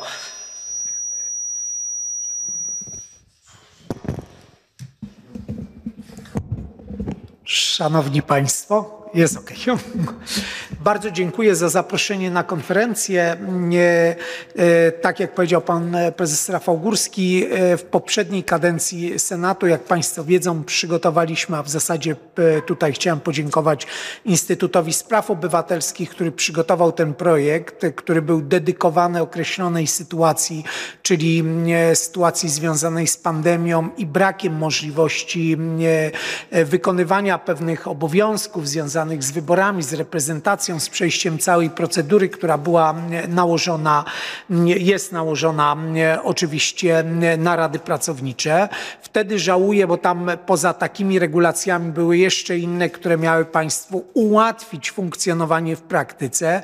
No niestety, z tego co pamiętam, bodaj wtedy zabrakło nam jednego głosu, żeby uruchomić e, inicjatywę ustawodawczą w tym zakresie. Bardzo żałuję, bo bym powiedział, e, to, z czym przychodziło nam się zmierzyć, co też pokazuje, ile jeszcze pracy przed nami, bo w trakcie tej e, dyskusji, e, no, ja już pomijam to, że doszło do dla mnie takiego zaskakującej sytuacji, w której e, no, na przykład senatorowie Prawa i Sprawiedliwości, którzy no, podkreślali jednak, że dla nich sprawy związane z reprezentacją pracowniczą są istotne. Ja ich przekonywałem, że to nie chodzi o to, że one są istotne tylko w wymiarze reprezentacji przez związek zawodowy i to dokładnie tylko jeden związek e, zawodowy. E, Rady pracownicze absolutnie z uwagi na e, i ustawodawstwo wspólnotowe, ale także takie realne problemy pracowników są wyjątkowo istotnym, efektywnym narzędziem tego współudziału pracowników w zarządzaniu firmami. Niestety wtedy nam się nie udało. Wartość tej całej dyskusji wtedy, że wielu senatorów miałem takie wrażenie, że pierwszy raz się wtedy w ogóle dowiedziało o funkcjonowaniu e, rad pracowniczych, tego modelu. Wielu było bardzo zaskoczonych, e, że to jest efekt pewnych regulacji wspólnotowych e, na płaszczyźnie całej Unii Europejskiej, ale pomimo tego, że no wtedy ten projekt nie został przyjęty, dostrzegam tą zaletę, że zrozumienie w kontekście tego, że właśnie rady pracownicze funkcjonują, jaką mają wagę i znaczenie w tych procesach konsultacyjnych wewnątrz e, firmy, że one znacząco wzrosły. Dzisiaj widzę, trzymam także przed sobą e, projekt nowelizacji ustawy o informowaniu pracowników, jeszcze go nie przeglądałem. Na pewno będzie Państwu łatwiej, żeby rozmawiać o pewnych e, inicjatywach po tamtej dyskusji. Dla mnie rzecz była oczywista. My mamy określony model funkcjonowania firm właśnie z udziałem przedstawicieli załogi. No Polska to nie jest e, Azja i to nie są regulacje, w której właściciel wszystko może. E, i bym powiedział takie inicjatywy jak Państwa, to, że jesteście zaangażowani w funkcjonowanie rad pracowniczych, absolutnie trzeba traktować jako wartość i stąd także ten poziom mojego zainteresowania. Pewno także mi było łatwiej e, o tyle, że sam e, Instytut i kontakt z Panem Prezesem, z jego współpracownikami jest mi o tyle łatwiejszy e, do nawiązania z uwagi na siedzibę także Instytutu, czyli Łódź. Ze swojej strony oczywiście deklaruję, że chciałbym być z Państwem w stałym kontakcie, e, zapoznawać się z tymi inicjatywami, które macie i przy okazji tej dyskusji, a teraz e, jednak troszkę czasu upłynęło, to pewno tych wniosków jest więcej. Państwo sami najlepiej wiecie, ile jest takich praktycznych, czasami większych, czasami mniejszych rzeczy, które można by uporządkować, czy to w wymiarze legislacyjnym, czy praktyki, e, jednak jakichś dobrych praktyk funkcjonowania na poziomie firm. Deklaruję, że jestem bardzo zainteresowany, tak jak do tej pory, współpracą z Państwem. Dzisiaj przyszedłem słuchać, e, uzupełniać e, tą wiedzę. Cieszę się, że tak licznie tutaj w budynku parlamentu jesteście. No i mam nadzieję, że ten model takiego dialogu, współpracy, wsłuchiwania się w Państwa głos jako e, przedstawicieli e, pracowników, no oby był jak najpełniejszy jak najlepiej e, realizowany. Jeszcze raz dziękuję za zaproszenie. Dziękuję. Ja teraz trochę. O... Trochę odwrócę formułę, to znaczy to pytanie, dlaczego potrzebujemy rad pracowników, albo wersja zmodyfikowana przez pana prezydenta Wituckiego, do czego potrzebujemy rad pracowników, to na wstępie spytam państwa na sali. Jakby państwo, no jeden, dwa, góra trzy głosy mieli odpowiedzieć, ale bardzo krótko, do czego, to proszę podnieść rękę, ja udzielę głosu. Proszę. Proszę włączyć mikrofon i. A za chwilę oddam głos panelistom na to samo pytanie. Dzień dobry. Ja się nazywam Leszek Wierzbowski. Mam przyjemność reprezentować z koleżankami i kolegami Polską Wytwórnię Papierów Wartościowych. y, szanowny panie pośle, senatorze, panie prezesie, szanowni państwo, koleżanki i koledzy.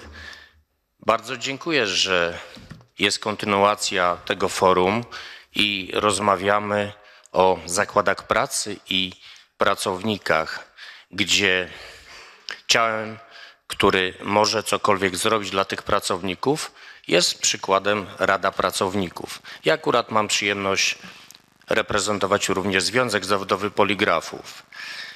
I łączę to wszystko dla dobra firmy. Odpowiadając na pytanie pana prezesa, czy jest potrzebne, po co jest, jak najbardziej. Szanowni Państwo, panowie posłowie, senatorowie, jak najwięcej takich ciał, to pozwoli nam zrozumieć się z pracodawcami, to pozwoli nam zażegnać jakieś niezrozumienia, a przede wszystkim pracodawca nie będzie rozmawiał z całą załogą, tylko z tymi reprezentantami. I jeśli nie ma tych reprezentacji w osobach jako Rada Pracowników czy Związków Zawodowych, to niech się tworzą. I tu jest taki, taka myśl, żeby było zapisane w obowiązku każdego pracodawcy powyżej powiedzmy 50 czy 100, ale bardziej 50, że ma obowiązek poinformowania załogi o tym, że takowa możliwość jest, bo o organizowaniu związków zawodowych wiedzą ludzie. Natomiast o radach pracowników to tak jakby cały czas gdzieś w przestrzeni ukrytej to przebywa. Więc gorąca prośba, żeby właśnie posłowie i senatorowie wszystkich opcji wspierali nas, bo od wielu, wielu lat jest tylko rozmowa, mówimy o tym, natomiast jeśli wychodzi o to, żeby nas wspierać, to wyrażacie się, drodzy Państwo, senatorowie, posłowie, kiedy są wybory. I to jest bolesne. A my chcielibyśmy, żebyście słyszeli nas głos, który pozwoli nam tą gospodarkę budować wspólnie razem.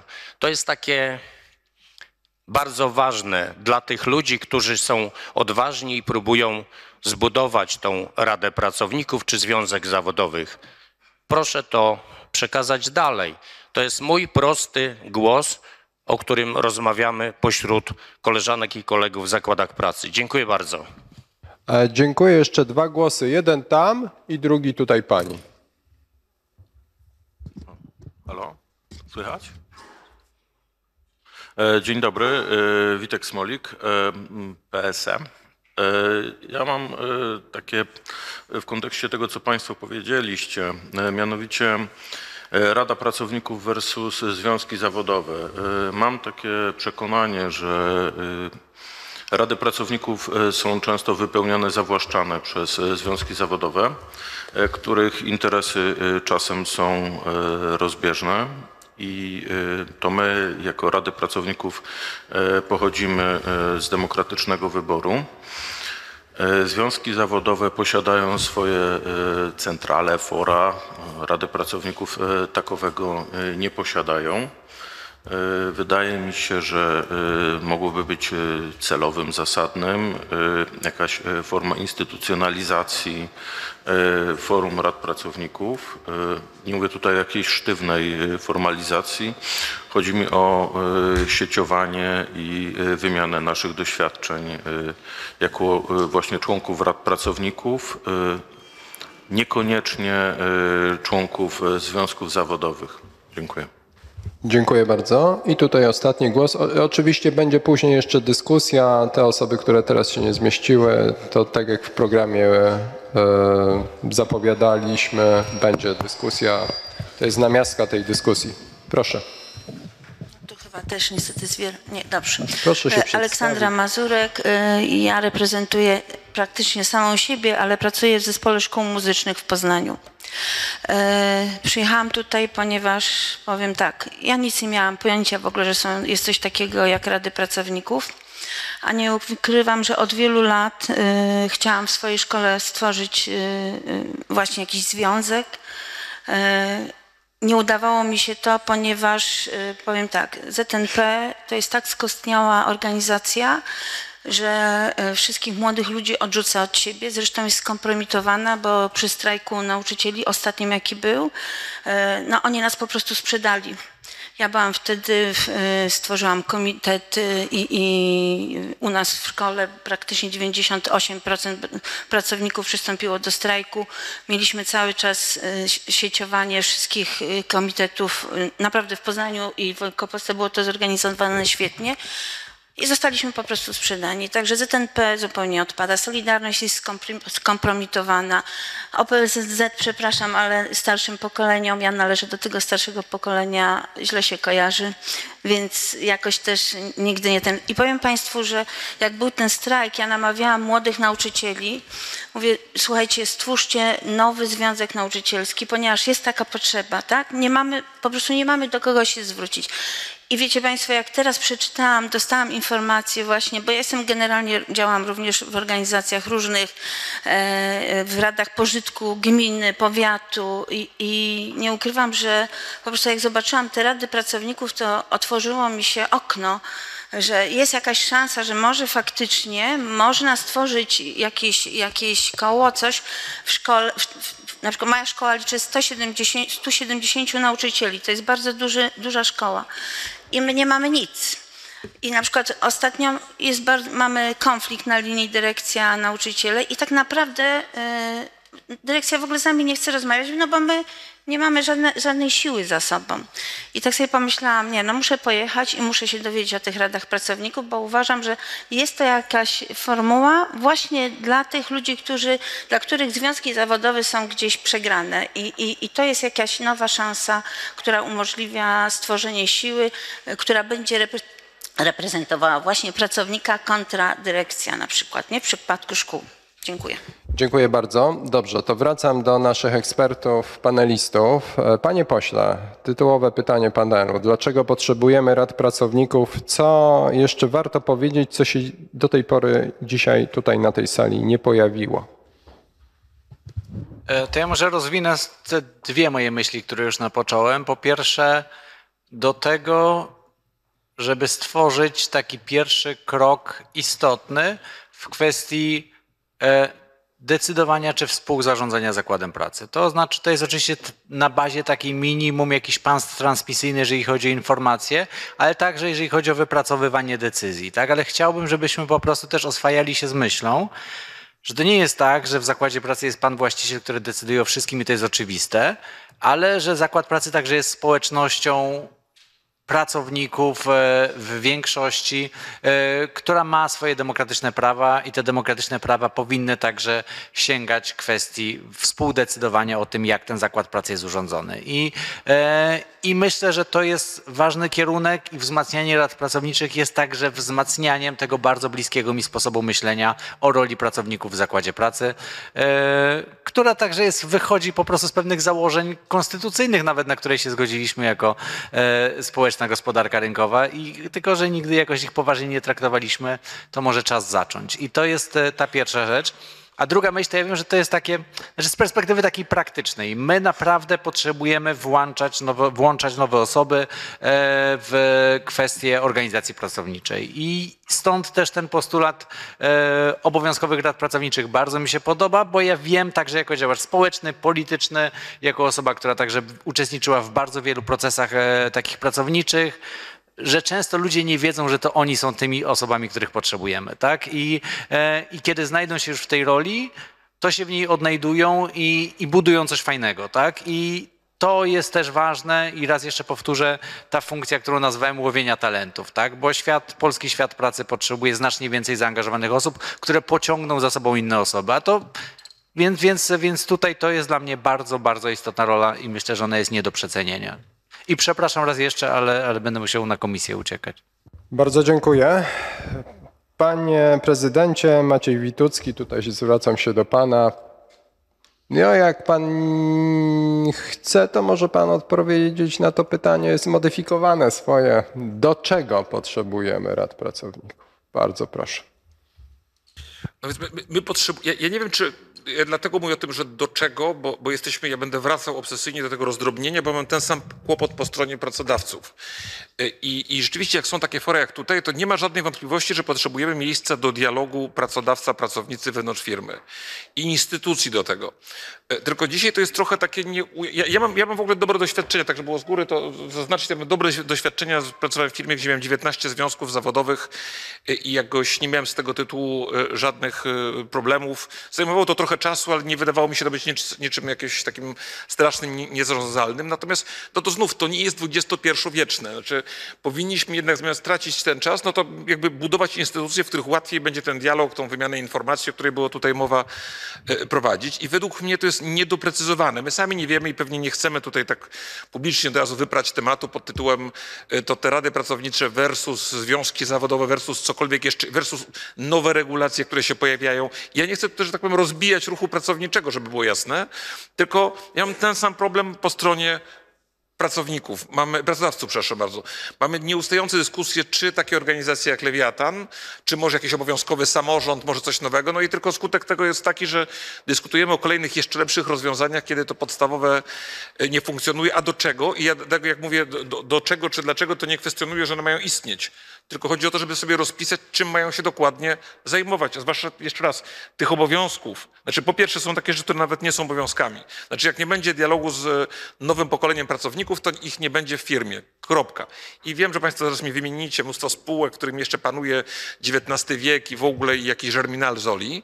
E, Natomiast jak patrzę na nowe pokolenie, e, tu padające słowa o, e, o, o work-life balansach i innych takich staropolskich wyrażeniach i, i dobrostanach, no to, no to bez tego, bez dialogu, bez tłumaczenia, dlaczego pracujecie, w jakim miejscu pracujecie, jakie są pomysły i plany, to po prostu pracowników nie, nie utrzymamy, albo utrzymamy teraz tą nową falę Kolumbijczyków, którzy i tak nie zrozumieją, jak im się będzie po polsku tłumaczyło, y, po co pracujemy i co chcemy zrobić, a to są najnowsi zagraniczni pracownicy, którzy do Polski przyjeżdżają. Więc chodzi mi o rozpisanie zadań. Gdzieś musimy debatować o projektach, y, y, o, o, o pomysłach firmy, gdzieś musimy debatować, kiedy są spięcia i zwarcia, gdzieś musimy, gdzieś musimy dyskutować o wszystkich tych, i to trzeba rozpisać, te wszystkie obowiązki regulacyjne, które się pojawiły. Jeszcze raz, Mówimy o sygnalistach, mówimy o przepisach antymobbingowych, mówimy o wszystkich tych regulacjach dotyczących też na przykład kształtowania wynagrodzeń czy polityki społecznej, socjalnej, e, socjalnej firmie. I ja dzisiaj nie wiem, czy e, rozmawiać e, z Radą, czy takie miejsce jest Rada, czy to są związki zawodowe, czy to jest jakaś taka trzecia instytucja, gdzie mówimy, że jeśli jest jedno, i drugie, to jedno i drugie siada ze mną jako z pracodawcą i, i debatuje. Więc, więc właściwie dla mnie mógłbym powiedzieć, z mojego punktu widzenia jest to obojętne, jak, my to, jak to państwo będą układali, jak my to ułożymy. Ważne jest to, że takie instytucje w XXI wieku, będę się powtarzał, e, muszą istnieć, że taka debata w firmie musi istnieć chociażby po to, żeby, żeby że tak powiem, utrzymać, a to jest w moim egoistycznym jako pracodawcy interesie, żeby utrzymać najlepszych pracowników, bo ci najlepsi stają się też najbardziej wymagający w którymś momencie. No i, i już, oni się już nie będą zgadzali tylko na taką operację ślep, ślepo śledzimy rozkazy szefa, bo, bo, bo ci najlepsi y, właśnie jeszcze raz mają szersze, większe oczekiwania. Więc dla mnie na pewno potrzebuje instytucji, a jak to teraz ułożyć między związkami zawodowymi, które są y, nisko reprezentatywne w Polsce, tak jak organizacje pracodawców, a radami pracowniczymi? Czy obowiązkowość coś zmieni, te pomysły, żeby, żeby były obowiązkowe rady pracownicze? To, to może to jest rozwiązanie. Oczywiście zawsze każdą, tak jak zajdziecie Państwo do zbyt małych firm, to stworzymy wtedy jakieś sztuczne e, e, regulacje. I wtedy może się okazać, że żona właściciela oraz syn właściciela stworzą radę pracowniczą w, w małej firmie i będą z tym właścicielem rozmawiali. A to chyba o to też nie do końca chodzi, żebyśmy, bo jesteśmy kreatywni, jesteśmy w Polsce, więc na pewno da się zrobić. Jak nie, to jeszcze dwóch kuzynów ogarniemy do kompletu. E, Więc to też nie jest, e, to też nie jest opcja. Więc dobrze są takie miejsca jak tutaj. E, I jeszcze raz pewnie trzeba oprócz takich otwartych debat usiąść też z kartką i za- zacząć spisywać te zadania dla, dla tych poszczególnych struktur, E, chociażby biorąc pod, e, biorąc pod uwagę regulacje, które już dzisiaj istnieją. Wszystkie te regulacje e, dotyczące tego, tego styku między pracodawcą, pracownikiem, właśnie ESG, właśnie compliance, właśnie jakby tymi prawami pracowniczymi wynikającymi bezpośrednio z kodeksu, z kodeksu pracy oraz z regulacji europejskich. Bardzo dziękuję. Panie Przewodniczący, to samo pytanie do Pana. To znaczy, które? Dlaczego potrzebujemy rad pracowników? A, okej, dobrze. Tego się wstrzymam. Dobrze, dobrze, dobrze. E, ja bym to mm, pytanie przeformułował, żebyśmy gdzieś unikali potencjalnych konfliktów, to ja bym je przeformułował i zapytał, dlaczego potrzebujemy przedstawicielstwa pracowniczego albo reprezentacji pracowniczej. E, I wtedy będziemy poszukiwali e, płaszczyzny porozumienia. I w gruncie rzeczy mógłbym powtórzyć to, co powiedział, e, odpowiadając na to pytanie, to, co powiedział poseł Maciej Konieczny. To znaczy, mm, po prostu potrzebujemy przedstawicielstwa pracowników, dlatego że zakład pracy, przedsiębiorstwo to jest taka przestrzeń, w którym są ludzie i ludzie nie tylko to wynika z, nie wiem, z konwencji międzynarodowych organizacji pracy, dokumentów międzynarodowych, konstytucji itd., itd., ale po prostu mamy takie poczucie, mamy takie przekonanie, że pracownicy powinni mieć prawo zabierania głosu w sprawach, które ich dotyczą w przedsiębiorstwie. Zatem to, co powiedział Maciej Konieczny, ja się z tym zgadzam, no bo on powiedział, że potrzebujemy większego wpływu pracowników na to, w jaki sposób danym przedsiębiorstwem się zarządza. I my możemy teraz też zastanawiać się, e, jaki ten poziom wpływu na zarządzanie być powinien. Bo takich ciał, które mają, są przedstawicielstwem, zbiorowym przedstawicielstwem pracowników i mają wpływ jakiś na zarządzanie przedsiębiorstwem, mamy wiele.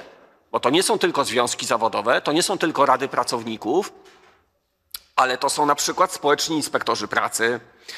E, Pamiętajmy, że w Polsce mamy też e, ciekawe rozwiązania. Może nie wszyscy Państwo wiedzą, e, mam nadzieję, że tak, ale e, e, a ci, którzy nie, to, to powiem.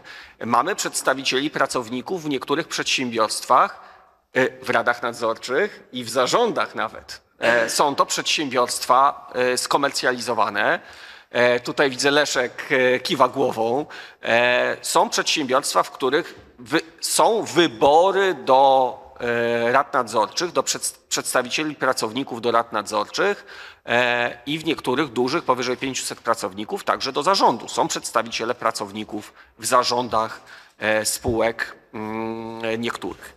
E, No, mamy coś takiego jak Europejskie Rady Zakładowe także. E, e, To dotyczy mm, koncernów wielonarodowych działających w co najmniej dwóch krajach członkowskich zatrudniających powyżej tysiąca pracowników.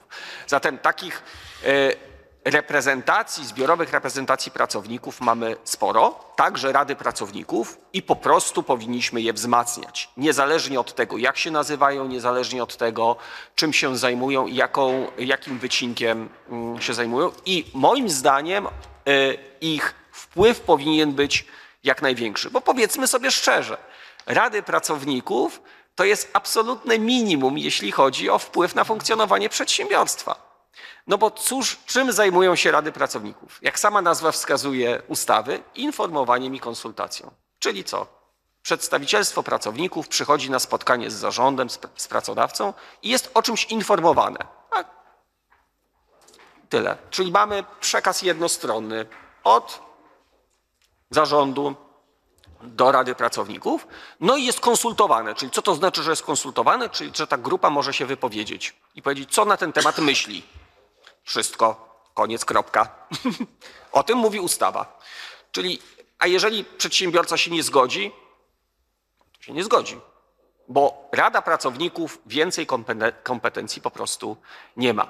Tutaj jest na przykład przewaga związku zawodowego, od razu mi się pojawia, bo związek zawodowy może skorzystać na przykład z ustawy o rozwiązywaniu sporów zbiorowych. Prawda? Rada Pracowników takiego uprawnienia nie ma.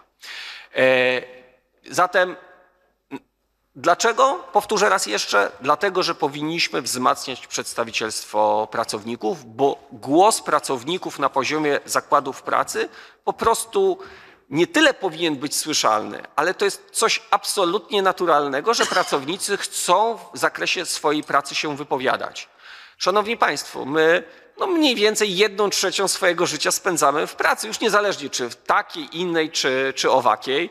Niektóre prace są od początku do końca, od e, kołyski aż po grób, można powiedzieć. Niektóre zmieniamy bardzo często. E, Niemniej jednak mamy takie poczucie, że chcemy w tych sprawach się e, wypowiadać. Dlaczego? Dlatego, że to jest, powiem tak Państwu szczerze, bo to jest, bo, bo jesteśmy ludźmi i chcemy mieć prawo głosu. Podam przykład. E, Dlaczego, co, się dzieje w sytuacji, wyobraźmy sobie, że nasze dziecko w szkole ma problemy w szkole. Co robimy? Możemy zrobić trzy rzeczy. Możemy nic nie robić i stwierdzić, może samo minie. E, Możemy dziecko przenieść do innej szkoły, ale co robimy najczęściej? Najczęściej idziemy i rozwiązujemy problem. Rozmawiamy z wychowawcą, jak to nie da, może z rodzicami, jak to nie da, to z radą rodziców, jak to nie da, to z dyrektorem. Staramy się problem rozwiązać. Tak? Czyli nie, nie dokonujemy radykalnych zmian, tylko staramy się rozwiązać problem tu i teraz w tej szkole. Pytanie brzmi, dlaczego nie mielibyśmy rozwiązywać problemów w miejscu pracy? Czym miejsce pracy różni się od na przykład szkoły, w której nasze dziecko ma problem? Zatem jako pracownicy też chcemy mieć możliwość rozwiązania problemu. Nie zmiany pracy, nie przeczekania, może to minie, tylko jak mamy problem, chcemy go rozwiązać. Jako jednostki, jako pracownicy jesteśmy raczej na straconej pozycji. Wiemy o tym doskonale jako pracownicy, że sami, samiuteńcy raczej na straconej pozycji jesteśmy. Kiedy jesteśmy silniejsi? Wtedy, kiedy mamy, działamy zbiorowo.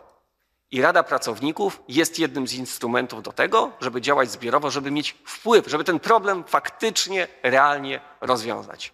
Ja jestem związkowcem i zachęcam oczywiście do związków zawodowych, ale mam takie poczucie i mam takie przekonanie, że y, wzmacniając generalnie reprezentację pracowników, działamy też na korzyść e, związków zawodowych i też wymienia- wymienialiśmy takie informacje z Maciejem Wituckim, że my po, prostu powinniśmy wzmacniać e, dzia, dzi- działania zbiorowe, można tak powiedzieć, tak? Czyli powinniśmy wzmacniać to, że my działamy zbiorowo, czy w pracy, czy gdziekolwiek indziej.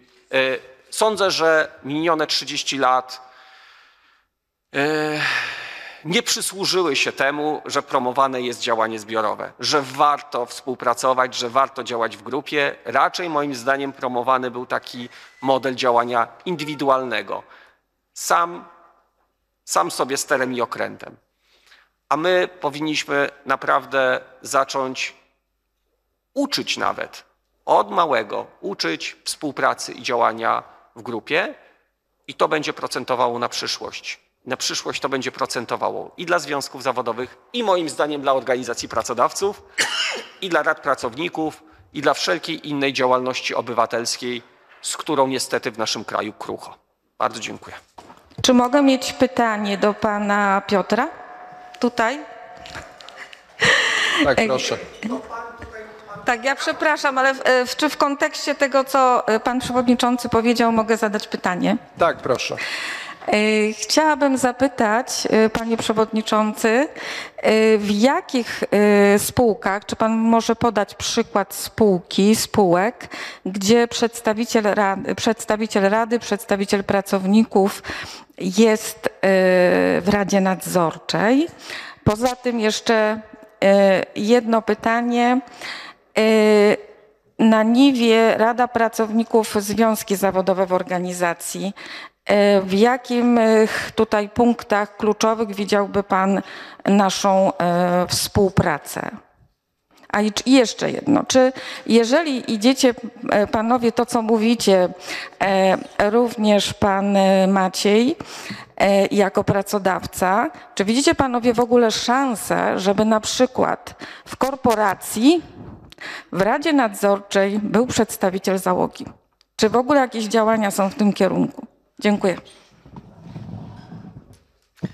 Odpowiadam na pytanie pierwsze. Jedna spółka wystarczy, tak? No to mamy tutaj kolegę z branży kolejowej, no to taką spółką na przykład jest PKP.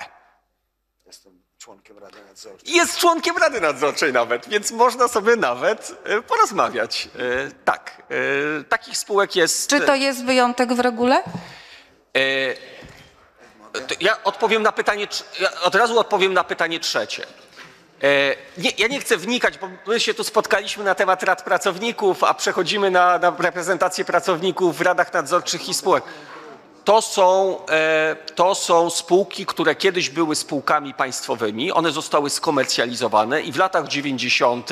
e, na mocy też różnych porozumień uzgodniono, że w momencie, kiedy takie spółki będą się prywatyzować, przedstawiciele pracowników będą mogli być wybierani do takich rad nadzorczych. To jest konsekwencja procesu e, restrukturyzacji i włączania dialogu społecznego w proces restrukturyzacji z lat 90. To taka trochę historia, skąd to się wzięło, natomiast istnieje. I w wielu spółkach, głównie spółkach, które są spółkami Skarbu Państwa, ale nie tylko, przedstawiciele pracowników są wybierani do rad nadzorczych. To raz, a w dużych, powyżej 500 pracowników, są wybierani do zarządów także spółek. PKP chyba też nie. Jeśli można, ja uzupełnię tę wypowiedź.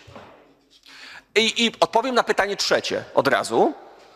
W programie OPZZ mamy zapisane, że chcielibyśmy wprowadzić takie rozwiązanie do wszystkich dużych przedsiębiorstw, niezależnie czy to są przedsiębiorstwa Skarbu Państwa, czy to są przedsiębiorstwa prywatne. Mamy taki cel, aby wprowadzać możliwość wyboru przedstawicielstw pracowników do rad nadzorczych, także w spółkach, w dużych spółkach prywatnych. Chyba w Orange też jest przedstawicielstwo. Nie ma? Nie ma. To nie. To byśmy, byśmy chcieli.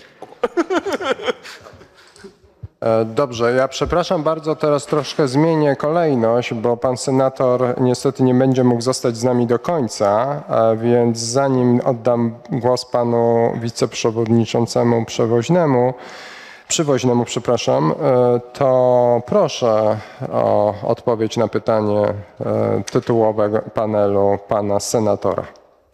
Szanowni Państwo, ja przepraszam, że przyjechałem troszeczkę później, a szybciej opuszczam, ale reprezentuję Senat ach, w takim trochę dziwnym ciele, nazywa się Krajowa Rada Sądownictwa e, i muszę tam e, wrócić na posiedzenie, ale też chciałbym jeszcze jakiś głos taki merytoryczny, nie tylko otwierający zabrać. Dlaczego potrzebujemy rad e, pracowników? Powiedziałbym, że to jest taki czterostopniowy system. Szacunek, zaufanie, dialog, współpraca. My w wielu firmach mamy problem. Mamy oczywiście problem z y, stosunkiem ze strony pracodawcy do pracowników. On czasami pozostawia wiele do życzenia. Będę na pewnym stopniu ogólności e, się wypowiadał. I te instytucjonalne czasami formy, które wymuszają wręcz współpracę, także podnoszą często ten wzajemny szacunek. I szacunek jest w ogóle pierwszym krokiem do tego, żeby mówić o jakiejś współpracy w przyszłości. Jak jest szacunek, to z czasem pojawia się zaufanie. Bez tego zaufania oczywiście trudno mówić o jakiejś efektywnej współpracy między pracodawcą a pracownikiem. Jak już jest zaufanie, pojawia się dialog, bo nagle pojawia się chęć i postrzeganie tego pracownika, że to nie jest jakiś roszczeniowy typ, tylko człowiek, który wspólnie z tym pracodawcą ma także cel związany z dobrym funkcjonowaniem spółki, bo jest to powiązane zarówno z interesami pracodawcy, jak i z interesami pracownika. A jak jest dialog, to już jest później współpraca, a czasami nawet jego wyższa forma, czyli jakieś formy współzarządzania w określonych e, obszarach. Państwo macie ustawę, która funkcjonuje od 2006 roku. Większość by powiedziała, no to tyle lat, to rady się rozwijają. No wy znacie te statystyki. Ja nie wiem, czy te informacje, które do mnie dotarły są przesadzone, ale ja mam informację o tym, że ilość rad pracowniczych maleje i to nawet bodaj czterokrotnie. Tak, Gdzieś, e, e, Czyli, szanowni państwo, cała ta narracja związana, że my w Polsce mamy nadmierną reprezentację związkową, y, która, bym powiedział, y, współzarządza nie ponosząc współodpowiedzialności, to znaczy ja mam ciągle wrażenie, że w Polsce na reprezentację pracowników patrzy się przez Związek Zawodowy Górników, już nie mówię jaki, i przez palone opony na ulicach w Warszawie. No to nie jest rzeczywistość reprezentacji pracowniczej. Rzeczywistość reprezentacji pracowniczej to są często małe firmy, problem czasami wynikający z różnych uwarunkowań, także pracodawców mamy różnych, bez określonej wiedzy i czasami tego pracownika który czuje się całkowicie bezsilny. I znowu Państwo możecie sobie pomyśleć, przyszedł do, do nas kolejny polityk, który e, mu opowiada, Boże, jak ważny jest dialog. Ciekawe, czy on kiedykolwiek tym dialogiem się e, kierował w swojej praktycznej działalności. Ja mogę powiedzieć, że dwukrotnie w swoim życiu zawodowym kierowałem większymi podmiotami, większymi instytucjami, jako minister sprawiedliwości, jako prezes Najwyższej Izby Kontroli. Jako prezes Najwyższej Izby Kontroli wprowadziłem coś takiego w tej instytucji, co mówię publicznie, co się nazywało ranking kontroli i w ramach tego rankingu kontroli zdecydowana większość wszystkich premii i nagród była oparta o zobiektywizowany, opisany kryteriami ranking kontroli, a pieniądze rozdzielał zespół, w, składzie którego uczestniczył w posiedzeniach przewodniczący Związku Zawodowego Pracowników. I mnie nawet moi prezesi pytali, no jak to?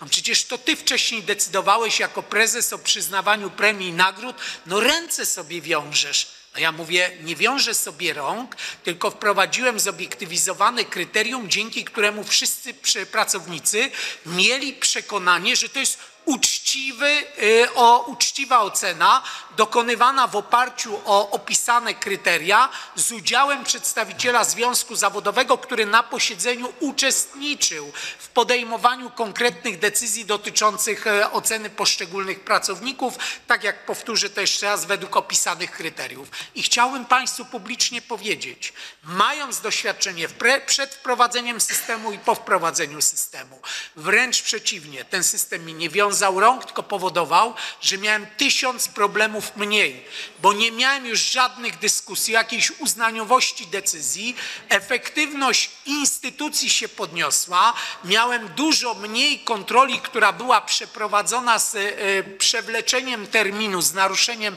terminu jej przeprowadzenia, bo to był też jeden z kryteriów oczywiście oceny. Ja nie miałem ciągłego handryczenia się w różnych sytuacjach personalnych, czemu ten dostał, czemu ten dostał tyle, a czemu ten nie dostał. Powiem więcej. Większość z tych rozmów prowadził szef związku zawodowego, bo on mówi, ale ja byłem przy podejmowaniu decyzji i sam pokazywał kryteria, którymi się kierowano. Oczywiście to jest przeskoczenie pewnej bariery, głównie mentalnościowej. Ja nigdy nie zapomnę, jak ja się sam zastanawiałem, jak wprowadzałem ten system, czy ja nie będę tego żałował. Nie, nie żałowałem tego. W sensie zarządczym to była je, zarządczym, to była jedna z najlepszych decyzji, jaką podjąłem jako kierownik e, jednostki. Do tej pory e, mam kontakt e, z szefem Związku Zawodowego Pracowników Najwyższej Izby Kontroli. Wczoraj akurat miałem urodziny, właśnie dostałem wczoraj od niego SMS z życzeniami, kilkakrotnie dzwonił. Jeszcze nie zdążyłem oddzwonić, będę oddzwaniał. Jako minister sprawiedliwości do tej pory mam kontakt ze Związkiem Zawodowym Funkcjonariuszy Służby Więziennej. Dokładnie ta sama sytuacja. Cykliczne spotkania z nimi oni wiedzieli o każdej decyzji.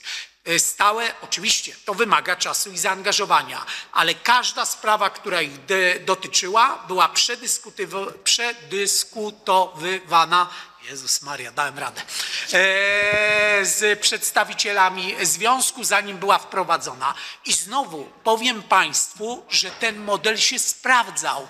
My później w oparciu o różne kryteria i parametry, ilość skarg, które wpływały pracowniczych, mieliśmy radykalny spadek tych wszystkich rzeczy. I kiedy podsumowywałem, ile czasu angażowałem w proces rozmowy, dialogu, konsultacji, to oczywiście to było sporo czasu, ale daleko więcej zaoszczędziłem na tym, że później nie rozwiązywałem jakichś konfliktów personalnych z dupy, przepraszam za określenie, że ktoś przychodzi i mówi, że on się nie zgadza z taką czy z inną decyzją, bo on już wiedział w oparciu o jakie kryteria ta decyzja była podjęta.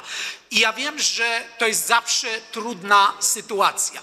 Ja mam takie przekonanie, że kraje, które wychodziły z tak zwanego systemu demokracji ludowej, bym powiedział, odrzuciły pewne wzorce, które funkcjonowały po roku 89, a z trudem przyjmowały nowe wzorce, które przecież obowiązują w Europie Zachodniej. I trochę powiem szczerze, jestem przygnębiony tymi danymi, jak spo, spojrzałem na tą ilość spadających rad pracowniczych. Musimy się zastanowić, co zrobić. Mówić, gdzie są te bariery. W dużych firmach, które mają rozproszone zakłady, zebranie 10% podpisów załogi to jest, bym powiedział, realny problem. Musimy na ten temat rozmawiać. Musicie także Państwo rozmawiać, bo mnie ta sytuacja z tą inicjatywą, którą mieliśmy w Senacie, też wiele nauczyła. Ja z takim zaangażowaniem, bo mam taki charakter, przystąpiłem do tej nowelizacji, jak otrzymałem e, projekt, rozmawiałem ze wszystkimi klubami, no i później się nagle okazało w głosowaniu, że tego umownego jednego głosu, w tym wypadku nie tylko umownego, ale i prawdziwego, zabrakło, żeby przyjąć tę inicjatywę. Co to mi uświadomiło?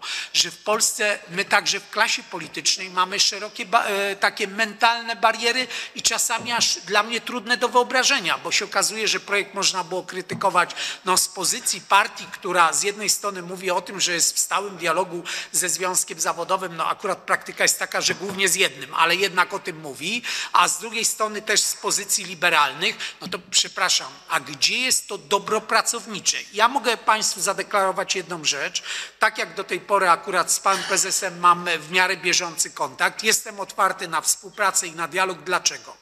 Bo sam się przekonałem, jako pracodawca, ile korzyści obie strony odnosiły z tego, że byliśmy w stałym dialogu i potrafiliśmy pewne decyzje podejmować wspólnie.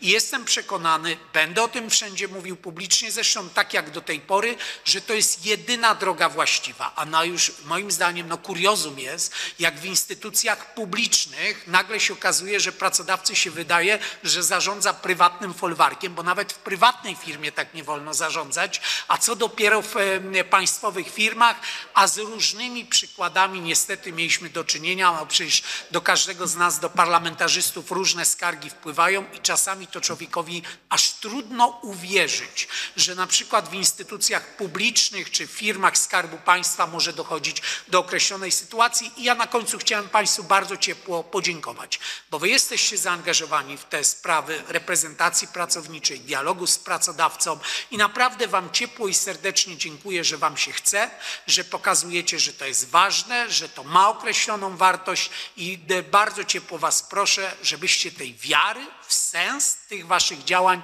nigdy nie zgubili.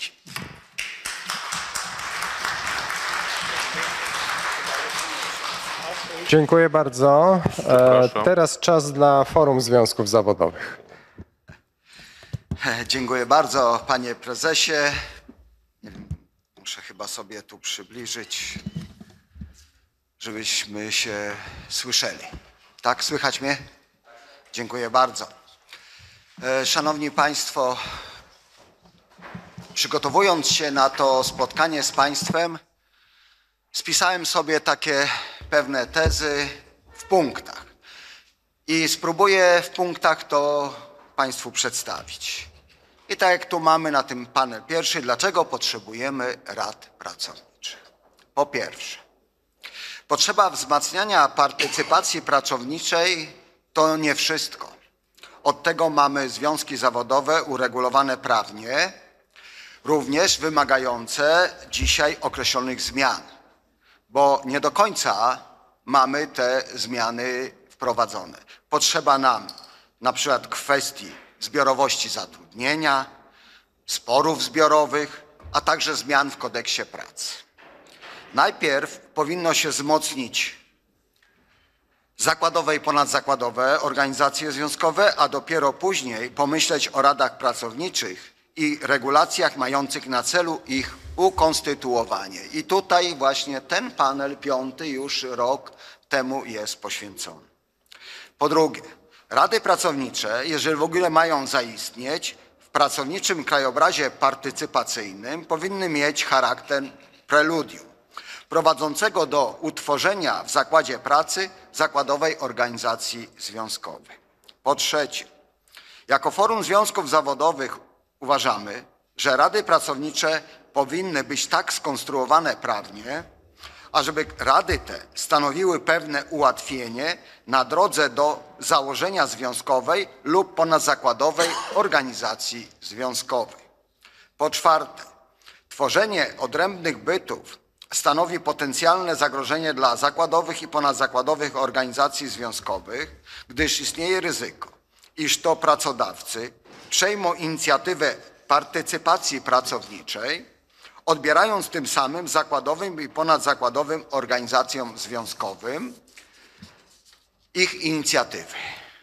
Po piąte, ryzykiem jest też sytuacja, w której pracodawcy, mając do wyboru utworzenie w zakładzie pracy Rady Pracowniczej, nie mającej takich kompetencji i umocowania ustawowego jak zakładowa organizacja związkowa, będą mogli chcieć zrobić wszystko, aby ta rada powstała, a nie powstał związek zawodowy lub jakaś inna zakładowa organizacja. Po szóste, ważną kwestią jest kwestia społeczno-gospodarcza w kontekście tego tematu. W Polsce mamy cały czas problem z partycypacją pracowniczą w ogóle. Mało osób działa społecznie czy zakłada fundacje, a działalność związkowa jest przede wszystkim przez wiele środowisk stygmatyzowana. Dlatego też trzeba zrobić wszystko, żeby ustalić i określić, jakie miejsce w porządku partycypacji pracowniczej miałyby mieć rady pracownicze. Po siódme, nie wyobrażamy sobie sytuacji współistnienia dwóch odrębnych bytów rad pracowników i zakładowych organizacji związkowych. Należy poszukiwać synergii pomiędzy radami pracowników a zakładowymi organizacjami związkowymi.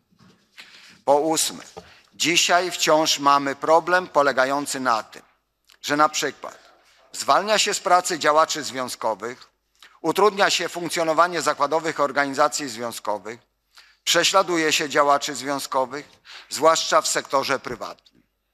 W związku z powyższym zamiana zakładowej organizacji związkowej na Radę Pracowników stanowi pewnego rodzaju kapitulację wobec prerogatyw organizacji związkowych w tym zakresie. Po dziewiąte, potrzeba w skali makro rozbudowywać partycypację społeczną i rozszerzać zakres partycypacji pracowniczej. I wtedy dopiero szukać miejsca dla rad pracowników. Powinno się to wiązać z tym, że najpierw wzmacniamy związki zawodowe po to, aby poprawić otoczenie legislacyjne działalności związkowej. Należy też w tym zakresie dokonać gigantycznego wysiłku edukacyjno-oświatowego. Dopiero wtedy możemy szukać miejsca dla rad pracowniczych. W przeciwnym razie kluczowa funkcja rad pracowników, czyli obrona praw pracowniczych czy dostęp pracowników do procesów decyzyjnych nie zostanie spełniona. Po dziesiąte, nie jesteśmy przeciwni tworzeniu rad pracowników. Apelujemy o stworzenie komplementarnego, harmonijnego otoczenia dla funkcjonowania rad pracowników i związków zawodowych. Po jedenaste, celem wspólnym związków i tych, którzy dziś mówią o potrzebie budowania rad pracowników, jest praktycznie ten sam. I polega na tym, aby reprezentacja pracownicza miała dostęp do procesu zarządzania czy współzarządzania, wpływania na organy w zakresie standardów zatrudnienia, kultury pracy, warunków pracy, przepisów prawa pracy i tym podobne. Nikt po stronie związkowej nie zgodzi się na zrównanie rad pracowników i związków zawodowych. Kapitulacja wobec wyżej wymienionych praktyk będzie zawsze szkodliwa i może doprowadzić do wysypu tak zwanych żółtych rad pracowników lub żółtych związków zawodowych, bo to dotyczy i tego ciała, i tego. Także to jest bardzo takie trudne do wyważenia. Forum Związków Zawodowych jest za tym, aby w pierwszej kolejności wzmocnić organizacje związkowe, a dopiero w późniejszym etapie tworzyć komplementarne rady pracowników. Wzmocnienie organizacji związkowych odbywać się powinno na poziomie zakładowych lub międzyzakładowych organizacji związkowych, bo to one są podstawowymi komórkami struktury ruchu związkowego. Dopiero w dalszej kolejności powinno się szukać miejsca dla lat pracowników, ale one też nie mogą być czerwoną flagą dla organizacji związkowych.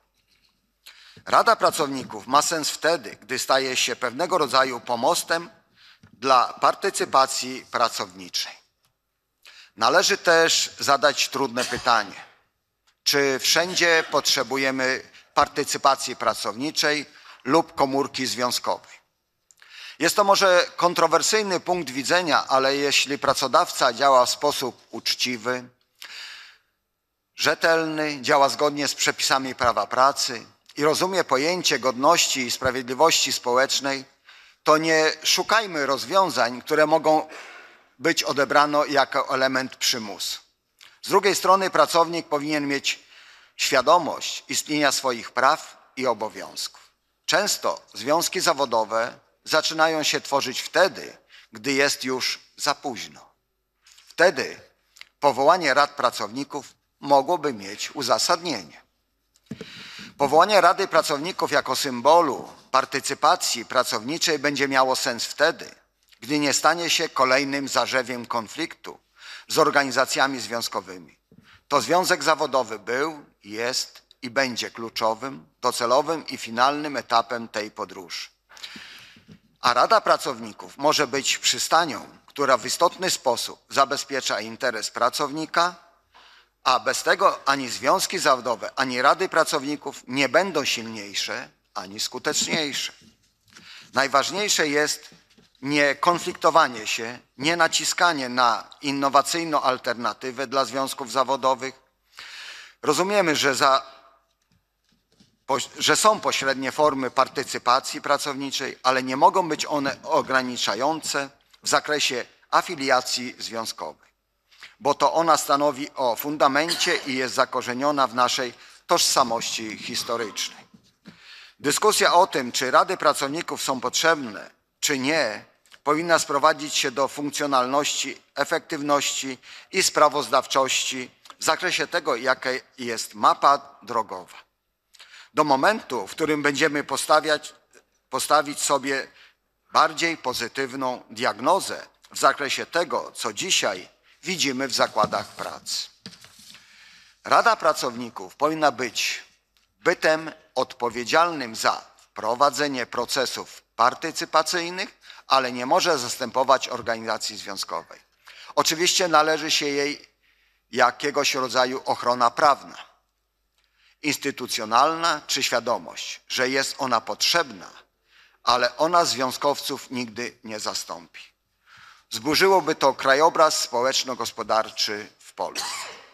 Szanowni Państwo, ja jak tu wcześniej moi przedmówcy mówili o roli związków zawodowych, jaka w tej chwili jest na szczeblach zakładów pracy, ona jest nieoceniona, bo w tej chwili związki zawodowe są umocowane w ustawie, posiadają wypracowane porozumienia, czy zakładowe, bo w tej chwili nie mamy ponadzakładowych i to jest wielka, wielka strata. Będziemy w Radzie Dialogu wspólnie dążyć do tego, żeby te ponadzakładowe układy zbiorowe pracy powstawały. Ale są jeszcze zakładowe układy zbiorowe pracy. Szanowni Państwo, czy wiecie, że ostatni Zakładowy Układ Zbiorowy Pracy był zawarty w 2016 roku. Od tamtego czasu nie mamy zakładowych, nowych zakładowych układów zbiorowych pracy. Więc tu duża rola związków zawodowych, żeby te zakładowe układy zbiorowe pracy wypracowywać i podpisywać z pracodawcami. Tak jak powiedziałem, rady pracowników mają swoją rolę, mają swoje miejsce w zakładach pracy u pracodawców i powinny kształtować swoją działalność. Oczywiście, jeżeli legislacja i te, ta pomoc w postaci tej ustawy nie doprowadzi do pełnego konstytucyjnego ładu i korporacyjnego porządku, to oczywiście my będziemy dalej raczkować. Będziemy dalej myślimy, myśleć, że coś możemy wnieść nowego, a pracodawca powie, że i tak będzie robił swoje. Więc tutaj na chwilę obecną rzeczywistość jest taka, jaką mamy. Tak jak słyszymy, rola związków zawodowych też się pomniejsza. Słyszymy, że już tylko 10% pracowników jest zrzeszonych w związkach zawodowych. Więc, Szanowni Państwo, to jest wielka rzesza pracowników i Wasza rola, żeby te rady pracowników mogły powstawać. Bo skoro związki zawodowe są ograniczane też przez pracodawców i są ciężarem dla niektórych pracodawców, zamiast być uważanym, że współpraca między pracodawcą a organizacją związkową powinna układać się w jak najlepszym e, stosunku i najlepszych relacjach i najlepszym charakterze, nie do końca tak jest. Mimo tej, jak powiedziałem, ustawy o związkach zawodowych, która gwarantuje nam to, że możemy w imieniu pracowników walczyć o ich prawa, godność osobistą, miejsca pracy i to, żeby pracownik był podmiotem, nie przedmiotem. Także to, Szanowni Państwo, przed nami. Tak jak powiedziałem, mam bardzo duże doświadczenie w działalności związkowej. Bardzo dużo udało mi się prowadzić, podpisać, załatwić. I z przykrością też chcę Państwa poinformować, że będę też Państwa musiał opuścić, bo w ramach zawartego układu zbiorowego pracy i porozumienia do tego zakładowego układu zbiorowego pracy w dniu dzisiejszym moi koledzy i koleżanki, do których dołączę za chwilę, prowadzą negocjacje płacowe z największym pracodawcą na sieci kolejowej. Jest to, są to polskie linie kolejowe. Walczymy o godne wynagrodzenie, walczymy o miejsca pracy. Panie wiceprzewodniczący, bo jeżeli pan ma wyjść, to ja bym prosił, żeby może już w tej Dobrze. chwili skończyć, bo chciałbym oddać głos sali, żeby pan jeszcze chociaż 5-10 minut został, e, jeżeli są Dobrze. jakieś komentarze czy uwagi. Tutaj pierwsza pani, drugi pan i trzeci. Dobrze, to dziękuję. Proszę po prostu jeszcze z nami zostać, bo wydaje mi się, że te trzy głosy, żeby chociaż, a później oczywiście poprowadzimy dalej e, dyskusję. Tak? Tak, jeśli można. Panie Janie, chciałabym tak, no, powiedzieć w pozytywnym e, E, akcencie. Ja przepraszam, przepraszam chwilkę, bo ja oddawałem głos tutaj tej A, pani ja e, ja i myślałam, też że- od razu ustalam taki porządek, że jeżeli ktoś już zabierał głos, to proszę się nie zgłaszać, bo jest nas 120 osób i chciałbym, żeby jak najwięcej nowych głosów się pojawiło, a nie żeby mówiły te same osoby. Więc tu jest pierwszy głos, drugi głos i trzeci głos tam przy, przy, przy ekranie. A później po oczywiście y, z tylnego będę patrzył na tylne, e, tylną część sali. Proszę bardzo. Dziękuję bardzo. Magdalena Madzia, Bielsko-Biała, Związki Zawodowe Branży Automotive, e, były Fiat, bo teraz to już niewiele z tego Fiata zostało. E, Jestem zaskoczona, że rady pracownicze miałyby być jakimś elementem przymusu.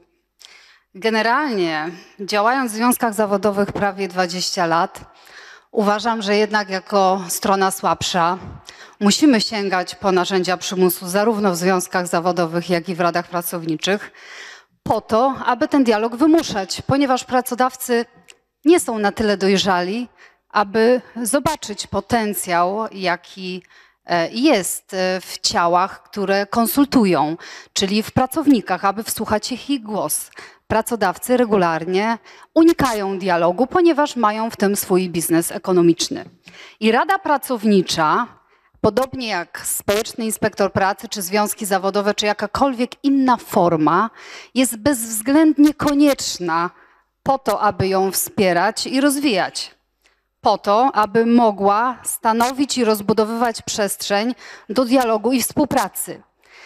Rada Pracownicza i Związki Zawodowe w moim, i chyba też o tym mówiłam rok temu, e, w moim wyobrażeniu i w moim przykładzie znanym z autopsji, to te dwa ciała, które działają najlepiej i najskuteczniej, jeśli ze sobą współpracują, w ogóle generalnie współpraca między jakimikolwiek organizacjami, a nie zwalczanie się, czy też wynoszenie na piedestał organizacji związkowych, które notabene e, sorry, które notabene nie działają skutecznie we wszystkich organizacjach i we wszystkich przedsiębiorstwach. I często jest tak, że to właśnie rady pracownicze są skuteczne i stanowią podstawy czy też zalążek do założenia organizacji związkowej, bo pracodawcy widzą, pracownicy widzą skuteczność powoływania i sens w ogóle angażowania się społecznego. Takie głosy krytyczne e, mogą stanowić podstawę do tego, że mamy właśnie 10% uzwiązkowienia, bo zaangażowanie społeczne pracowników w ogóle społeczeństwa polskiego jest na tak niskim poziomie, że jakiekolwiek próby zabijania organizacji oddolnych czy też e, inicjatyw, które mają e, na celu pobudzić to zaangażowanie społeczne, jest po prostu karygodne. I ja jestem bardzo oburzona tą wypowiedzią. Chciałabym też tylko powiedzieć jeszcze jedną ważną rzecz, że zarówno związki zawodowe, jak i rady pracownicze mają zupełnie inne kompetencje i co do tego pełna zgoda, działają na podstawie zupełnie innych podstaw prawnych.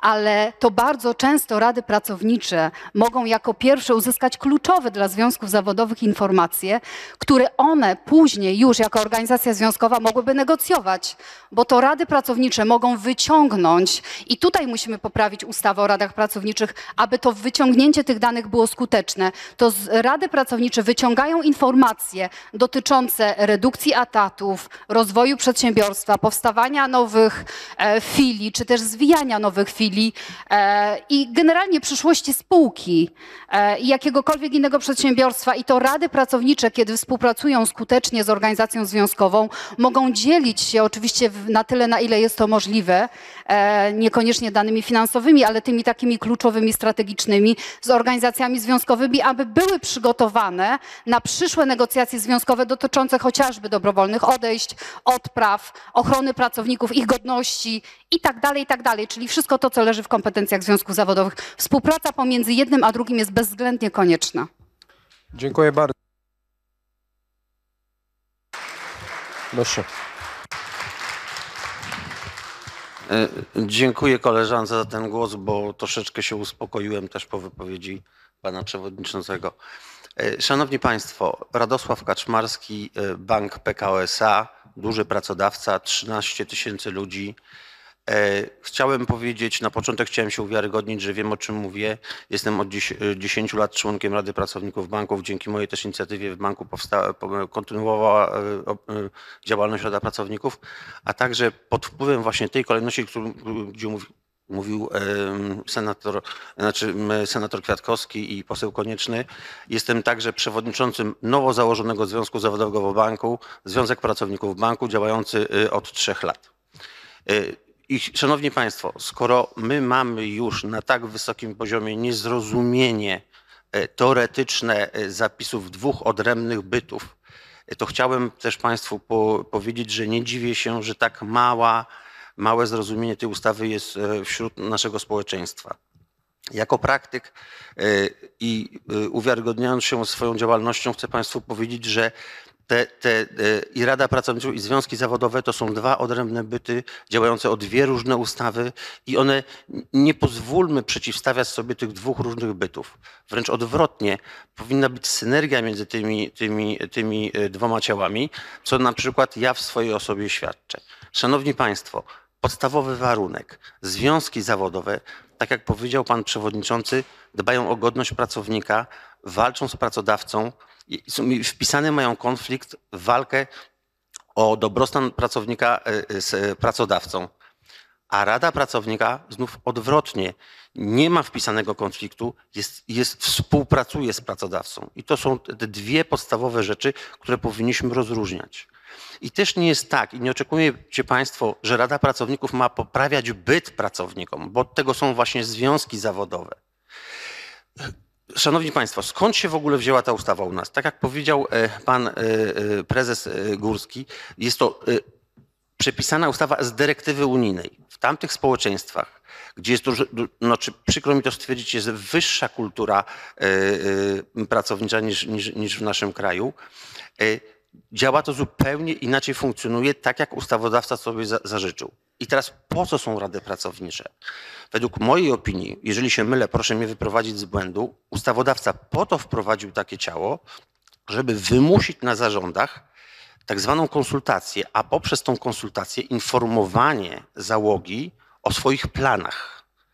I to, że Rada Pracownia nie ma żadnego merytorycznego wpływu, tak jak powiedział e, tutaj też e, e, poseł Konieczny, tylko i wyłącznie Rada może opiniować coś, ale za działalność zakładu odpowiada zarząd i zarząd może ignorować funkcjonowanie Rady, czyli inaczej mówiąc, Rada Pracowników nie ma żadnych, ale podkreślam, żadnych czynności sprawczych, bo jest tylko ciałem konsultacyjnym, ale właśnie poprzez tą konsultację ustawodawca wymusza y, informowanie załogi, dlatego ustawa się nazywa się o informowaniu pracowników o zamierzeniach pracodawcy.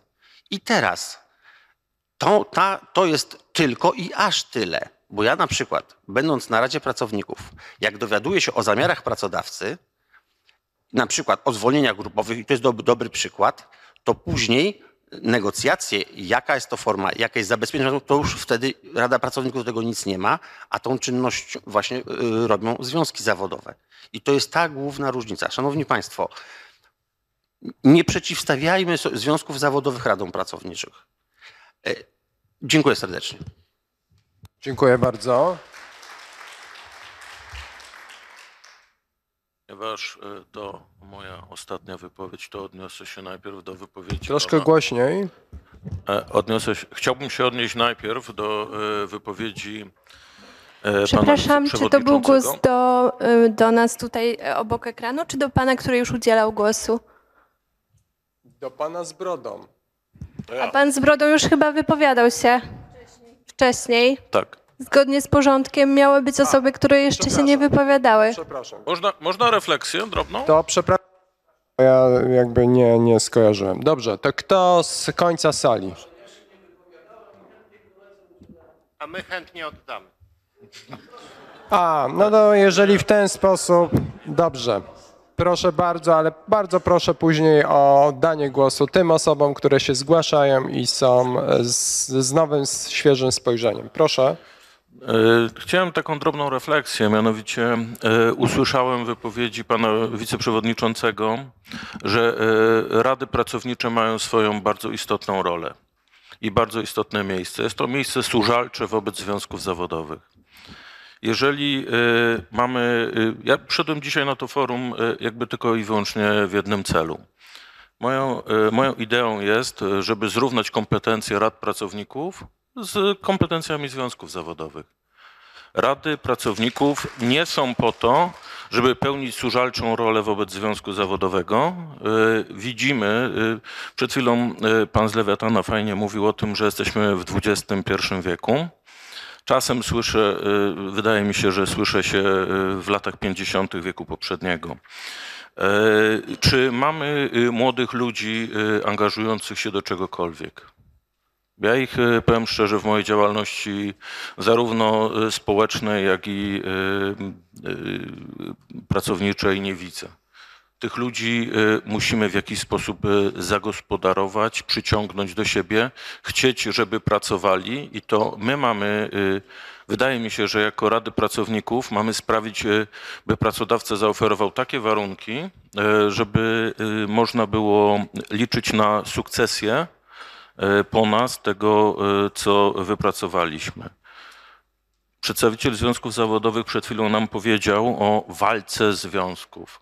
My mamy walczyć, czy mamy współpracować z pracodawcą?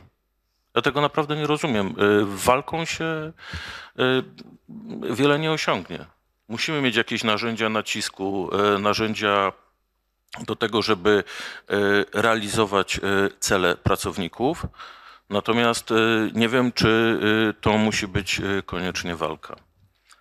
E, To, co powiedział pan senator Kwiatkowski, szacunek, zaufanie, dialog, współpraca. Do tego musimy wszyscy dorosnąć po obu stronach. Wydaje mi się, że walki w tym nie było. E, Dziękuję. Dziękuję bardzo. Teraz Poproszę o głosy z końca sali, bo ja tak dokładnie nie widzę. Tam się pan, pani chyba zgłasza. Proszę bardzo. E, Dziękuję za udzielenie głosu. E, Ja jestem e, osobą, która przyszła tutaj z koleżanką Moniką i kolegą Grzesiem. Grześkiem. Jesteśmy z firmy, która ma swoje pochodzenie w Danii. To jest firma, która zajmuje się energią odnawialną.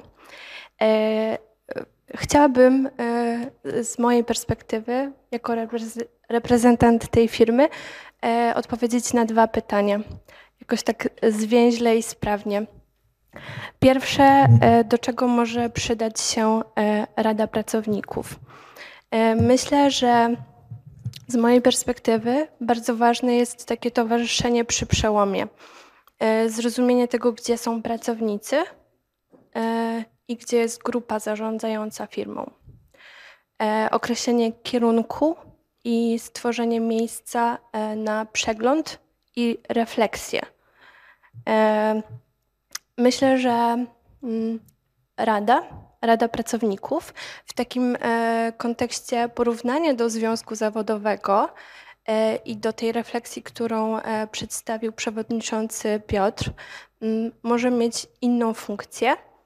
E, Przewodniczący Piotr mówił o tym, że rozwiązywanie problemów e, rodzic e, podejmuje, tak, za dziecko. Więc jakby wyręcza go w tej odpowiedzialności w sytuacjach, kiedy to dziecko nie jest w stanie rozwiązać tego problemu.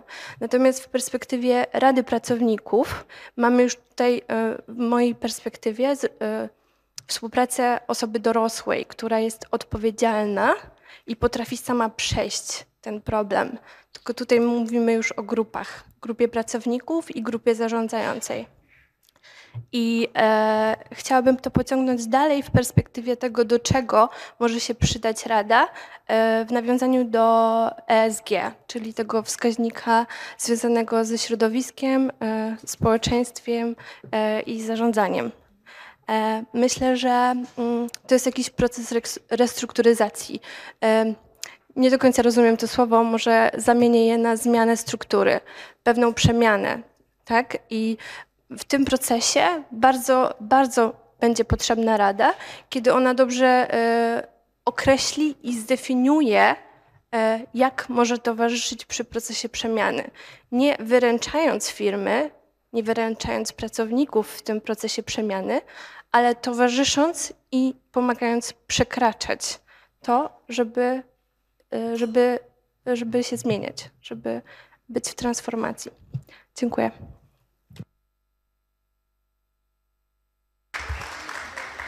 Dziękuję bardzo. Kolejny głos z sali tam z końca. Ktoś podnosi rękę?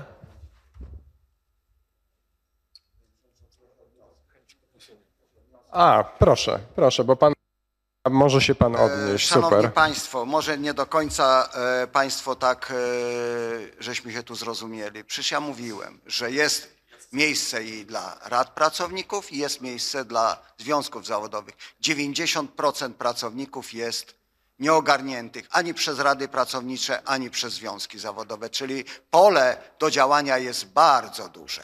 A co do te- tego, no wiemy doskonale, że Rada Pracowników to służy do konsultacji, prawda, i informowania pracownika. A teraz rola związku, to co ja podkreślałem, jako jest olbrzymia. Ja swojej historii przeprowadziłem bardzo wiele dialogów, sporów zbiorowych, strajków w obronie miejsc pracy i godności pracowniczej. I proszę nie umniejszać tu roli związków zawodowych, bo tu słyszę, że jakiś e, otwieram konflikt czy wojnę. Nie, ja nie otwieram, ja tylko chciałem zaakcentować i powiedzieć, że to związki zawodowe umocowane ustawą mają tą rolę. Ja mam zapisane, na przykład i koledzy też, porozumienia między pracodawcami, gdzie tak samo jak i rady pracownicze, pracodawca ma obowiązek nas informować o jakichkolwiek zamierzeniach na 30 dni przed wprowadzeniem czy zwolnień grupowych, czy restrukturyzacji, czy zmian planów. Także i my na to mamy czas, żeby podjąć stanowcze lub konkretne działania. Czy to do sporu zbiorowego, czy do strajku włącznie, żeby bronić zakładu pracy i miejsc pracy.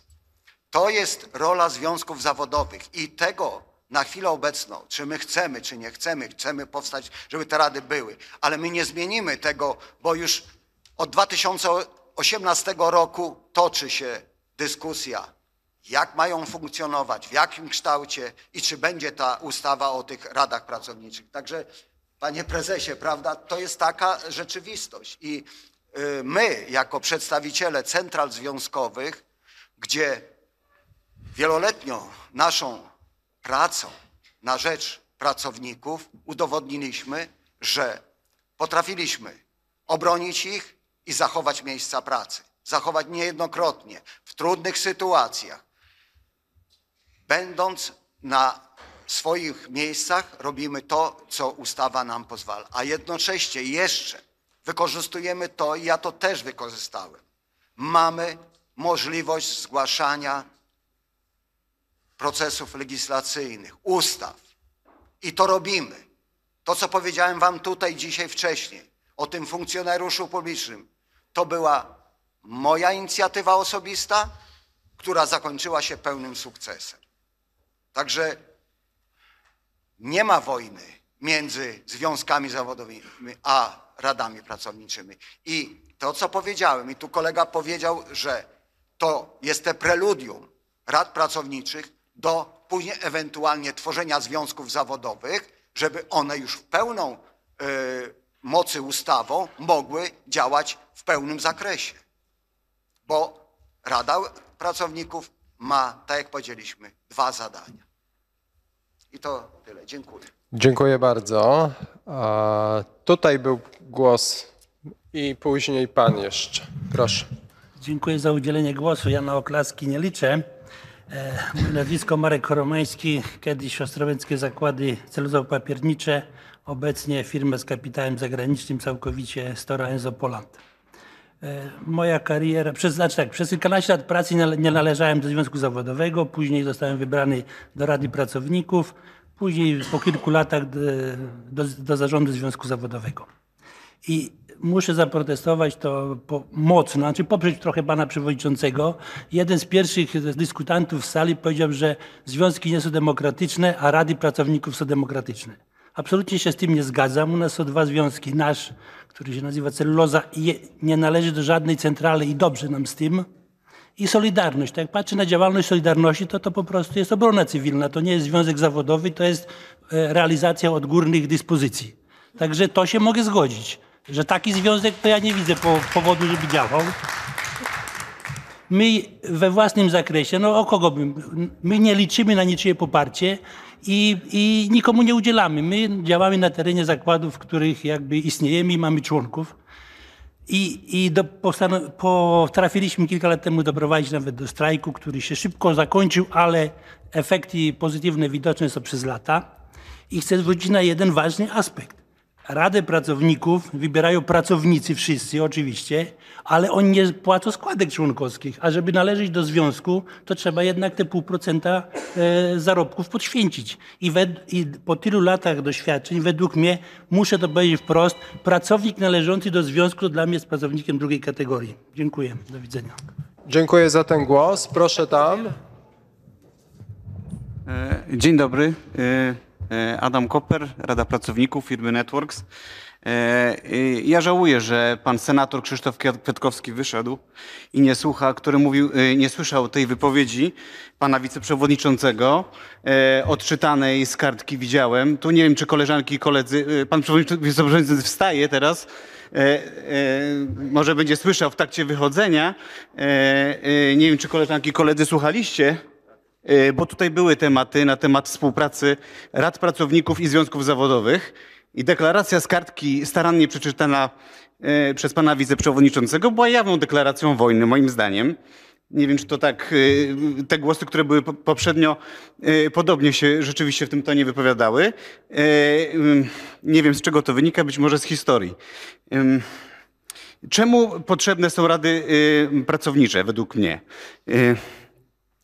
Podkreślane tu już było, nie wiem czy y, zauważamy to podobnie, jaka jest w ogóle partycypacja i chęć do działalności społecznej dzisiaj w Polsce. Jak widzicie Państwo w, w otoczeniu y, siebie dookoła. Niektórzy mówią, że y, taka działalność umarła. Ludzie, którzy chcą coś zrobić w swoich zakładach pracy, w swoich miejscach pracy, w których są. Nie, nie mówię o sygnalistach.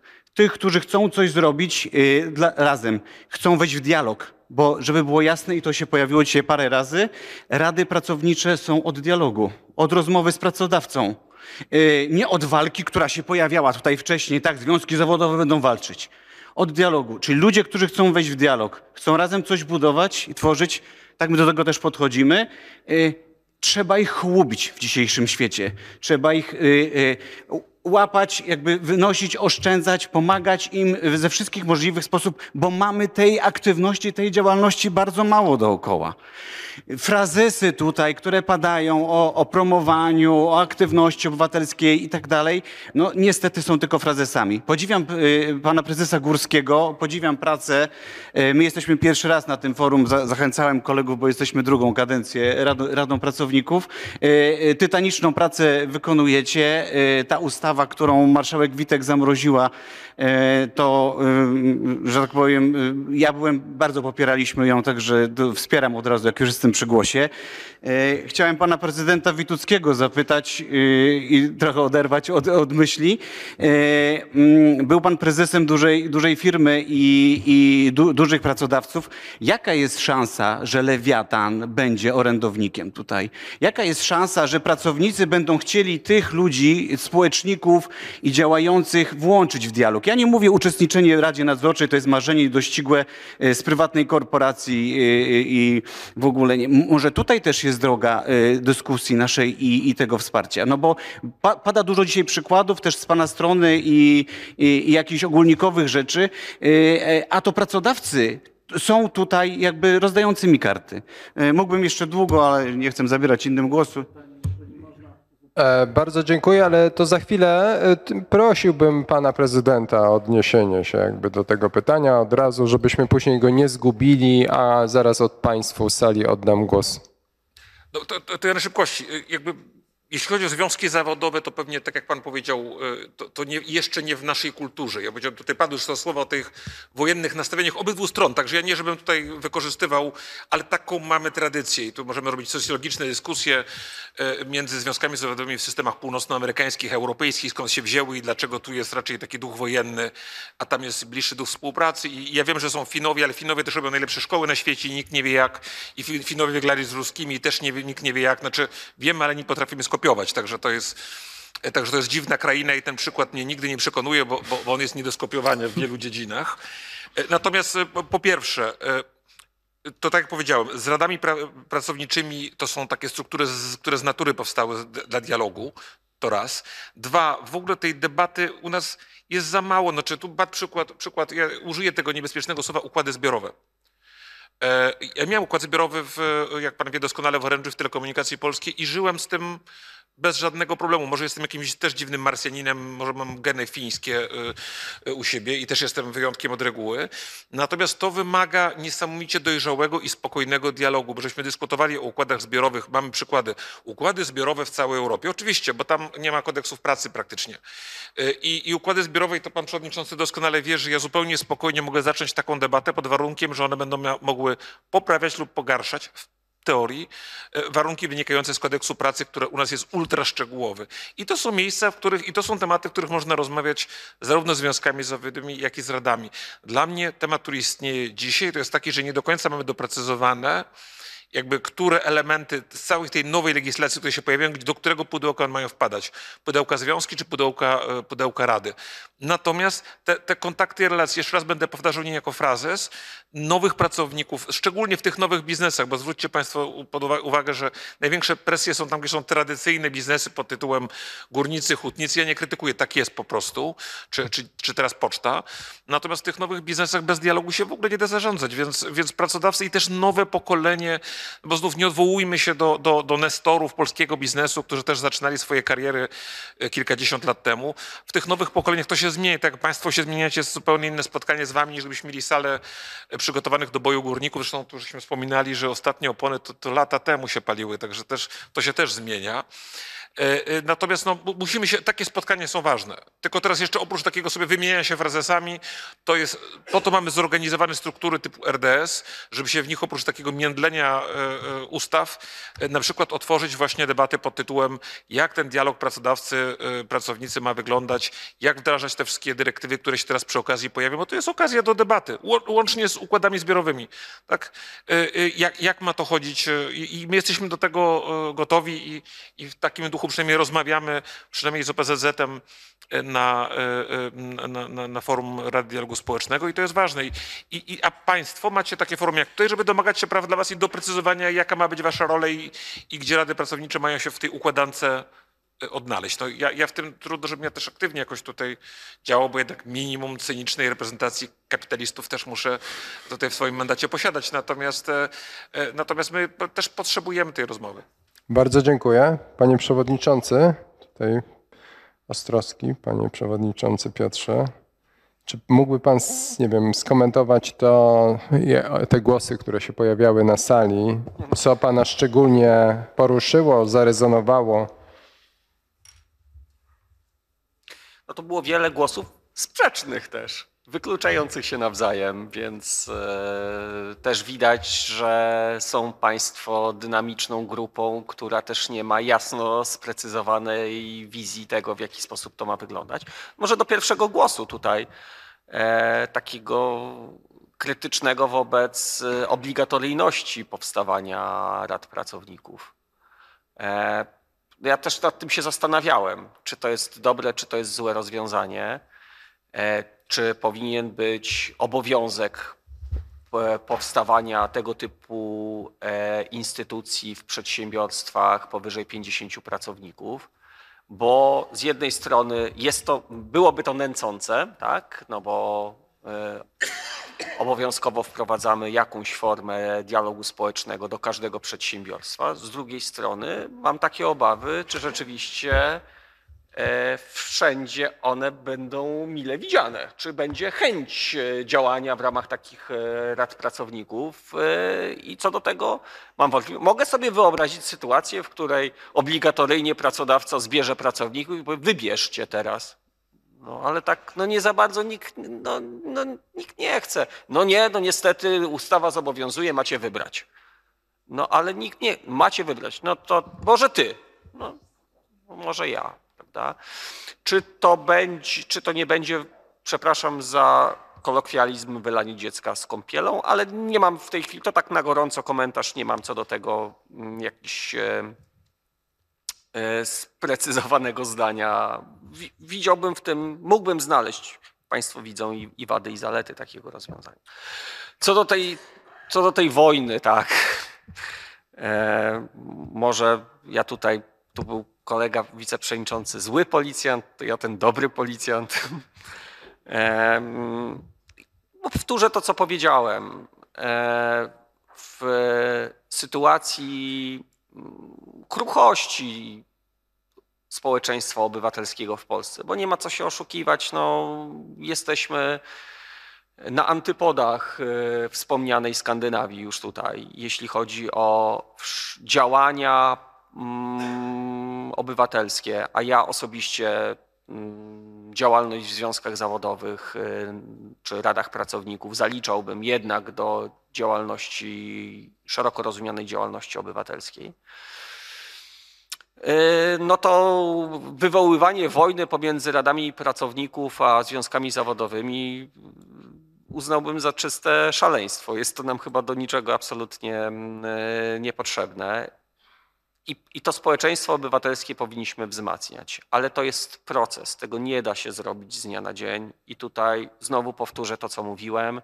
My od najmłodszych lat musimy uczyć e, obywatelskości, sensu e, i zrozumienia dla działania zbiorowego, e, tego, że opłaca się współpracować, że opłaca się e, działać e, e, w zespole od najmłodszych lat na poziomie szkół i później. I potem, jakby to potem będzie procentować. E, Zachęcanie w ogóle do działalności obywatelskiej, bo myśmy nawet w OPZZ swego czasu robili takie badania i sprawdzaliśmy, e, na ile osoby, które są związkowcami, angażują się w inną formę działalności obywatelskiej, na przykład na rzecz e, społeczności lokalnej, e, rady rodziców e, i tak dalej, i tak dalej. Nawet, nawet Kościół w to włączyliśmy. I okazuje się, że istnieje bardzo silna zależność pomiędzy tymi dwiema rzeczami. To znaczy, związkowcy są społecznikami i często społecznicy są związkowcami. Nie sprawdzaliśmy tego na bazie rad pracowników siłą rzeczy, ale podejrzewam, że ta zależność byłaby równie silna, bo wiem, przecież powiedziałem, że nawet na sali są związkowcy z OPZZ, e, bo wiem, że w wielu, wielu, wielu przypadkach e, te funkcje się, się łączą. Zatem uważam, że wzmacniając e, postawy obywatelskie, działalność społeczną, my wzmacniamy także działalność społeczną w ramach miejsc pracy, wzmacniając także związki zawodowe i rady pracowników. Dziękuję. Dziękuję bardzo. Proszę tutaj głos i tam po środku później. Tutaj głos, a później Tak, tam. tak, tak. Zbyszek Owczarek, y, firma Networks. Y, Bardzo dziękuję za to wystąpienie pana przewodniczącego, bo mnie troszeczkę uspokoiło, dlatego że to, co mówił pan wiceprzewodniczący, to y, no, co najmniej się zdziwiłem i na początku nie wierzyłem, y, że celem tego forum jest y, taki wyraźny podział. Tak, pan wiceprzewodniczący dokonał wyraźnego podziału na tych dobrych, którzy są w związkach jedyni konieczni i te rady, które no, były, miałyby przeszkadzać tym związkom. Myślę, że jeżeli byśmy przyjęli taką drogę, no to znowu pójdziemy w stronę dzielenia, a nie łączenia. Y, To, co mówił pan Kwiatkowski, to, co mówili koledzy. I to będzie początek y, końca tej drogi, tak? Bo podzielimy się i wtedy już y, w ogóle do niczego nie dojdziemy. Także dziękuję za to wystąpienie panu przewodniczącemu, bo no, napawa optymizmem w stosunku do tego, co było wcześniej. Dziękuję. Dziękuję bardzo. Proszę. Ja nazywam się Piotr Ciąpa, jestem od 2006 roku, współpracuję z Instytutem Spraw Obywatelskich przy Centrum Wspierania Rad Pracowników, a przy okazji, stąd niektórzy mnie znają, a y, jestem też wynajmującym się menedżerem, menedżerem średnich i dużych przedsiębiorstwach, e, zazwyczaj w zarządach tych firm. Do stycznia tego roku byłem prezesem Polskiej Wytwórni Papierów Wartościowych i tutaj zasiadam razem z Radą Pracowników i członkami Rady Nadzorczej i liderami związków zawodowych z naszej firmy, Polskiej Wytwórni Papierów Wartościowych. E, Relacje, e, mogę powiedzieć, między nami były mieszane w dobrym rozumieniu tego słowa. Tak? Ostatniej reformy premii regulaminowej odrzuciliście ją, prawda? Więc to nie jest tak, że my się zgadzaliśmy, a mimo to siedzimy przy jednym stole i myślę, że dobrze wspominamy tą współpracę. Ja chcę tutaj e, pociągnąć te dwa ostatnie głosy, które pozwalają mi trochę krócej się wypowiadać, bo każda ze stron, e, wszyscy mamy rację, tak? Ja potrafię uzasadnić, siedząc w tym temacie od 2006 roku, potrafiłbym znaleźć argumenty na rzecz obrony każdego podejścia, także i związkowego, i czysto radopracowniczego, dlatego że każde przedsiębiorstwo w Polsce jest inne i być może te relacje związkowo-rado-pracownicze powinny być zawsze dostosowywane, tak? No ale jest ustawa, która musi trochę uniwersalizować, czyli wprowadzać trochę nieelas- nieelastyczne rozwiązania.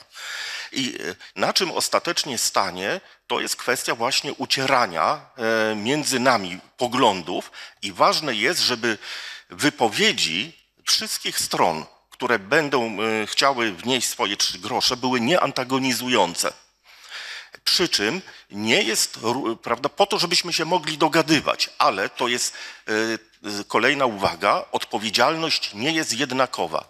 Dlatego, że największa odpowiedzialność spoczywa na tych, którzy mają władzę, czyli pracodawcy. I ja kupuję wypowiedź pana przewodniczącego, bo to była bardzo taka obiecująca wypowiedź, taka wykazująca zrozumienie e, tej perspektywy. Nie mówię, że zgodę na wszystko, tak? e, ale to jest e, dialogiczna była wypowiedź i ją kupuję. Natomiast ja głos pana przewodniczącego z Forum Związków Zawodowych znajdując argumenty na rzecz obrony tych wielu tych punktów y, była trochę sformułowana tak apodyktycznie i w taki sposób niedopuszczający do dialogu, bo było kilka tam bardzo mocnych sformułowań, chociaż e, uprawnionych. O tak bym powiedział. Nie mówię, że się z nimi zgadzam, ale je rozumiem. I taki wniosek z naszego forum, bo przecież my tu dzisiaj nie uchwalamy żadnej ustawy, nie podejmujemy o niczym decyzji, żebyśmy wszyscy wykazywali mnóstwo cierpliwości do siebie, chociaż rzeczywiście najbardziej ci, którzy mają najwięcej władzy. Po pierwsze pracodawcy, po drugie e, związki zawodowe, bo jednak to są instytucje, które mają e, więcej e, jakby wpływu na stosunki pracownicze, ale ponadto też mają więcej uprawnień, są lepiej osadzone ustawowo niż rady pracowników. I to tylko takim wnioskiem chcę po prostu skończyć, a mam jeszcze jedną taką, taką prośbę, taki apel do e, lewicy. My, tak jak e, Rafał Górski mówił na samym początku, my, na, sa- my e, współpracujemy e, z- każdą siłą polityczną, która chciałaby podpisać się pod radami pracowników, ale i szerzej, bo my nie jesteśmy w ogóle antyzwiązkowi, tak? To nam do głowy w ogóle nie, nie przychodzi i wśród związkowców mamy też przecież wielu przyjaciół. To jest, e, e, to jest, e, zaczynaliśmy od, współpracę ze senatorem Romaszewskim z PiSu, była później współpraca z senatorem Kwiatkowskim z Platformy Obywatelskiej, a dziś przychodzimy do klubu Lewicy. I to jest taki apel, dlatego że bardzo często środowiska lewicowe, bardzo rozmaite, niekoniecznie obecne tu na sali, mówiły, wysyłały taki sygnał pracownikom. My wam pomożemy, jak się e, przechrzcicie na naszą modłę. Taki warunek. E, Tymczasem e, ten etos inteligencji lewicowej, czego symbolem jest w ogóle żeromszczyzna, tak? To, co Żeromski zostawił po sobie, siłaczka, judym. Oni szli do ludu, nie żądając od niego, żeby on się zmienił. Pomagać mu bezwarunkowo, a nie warunkowo.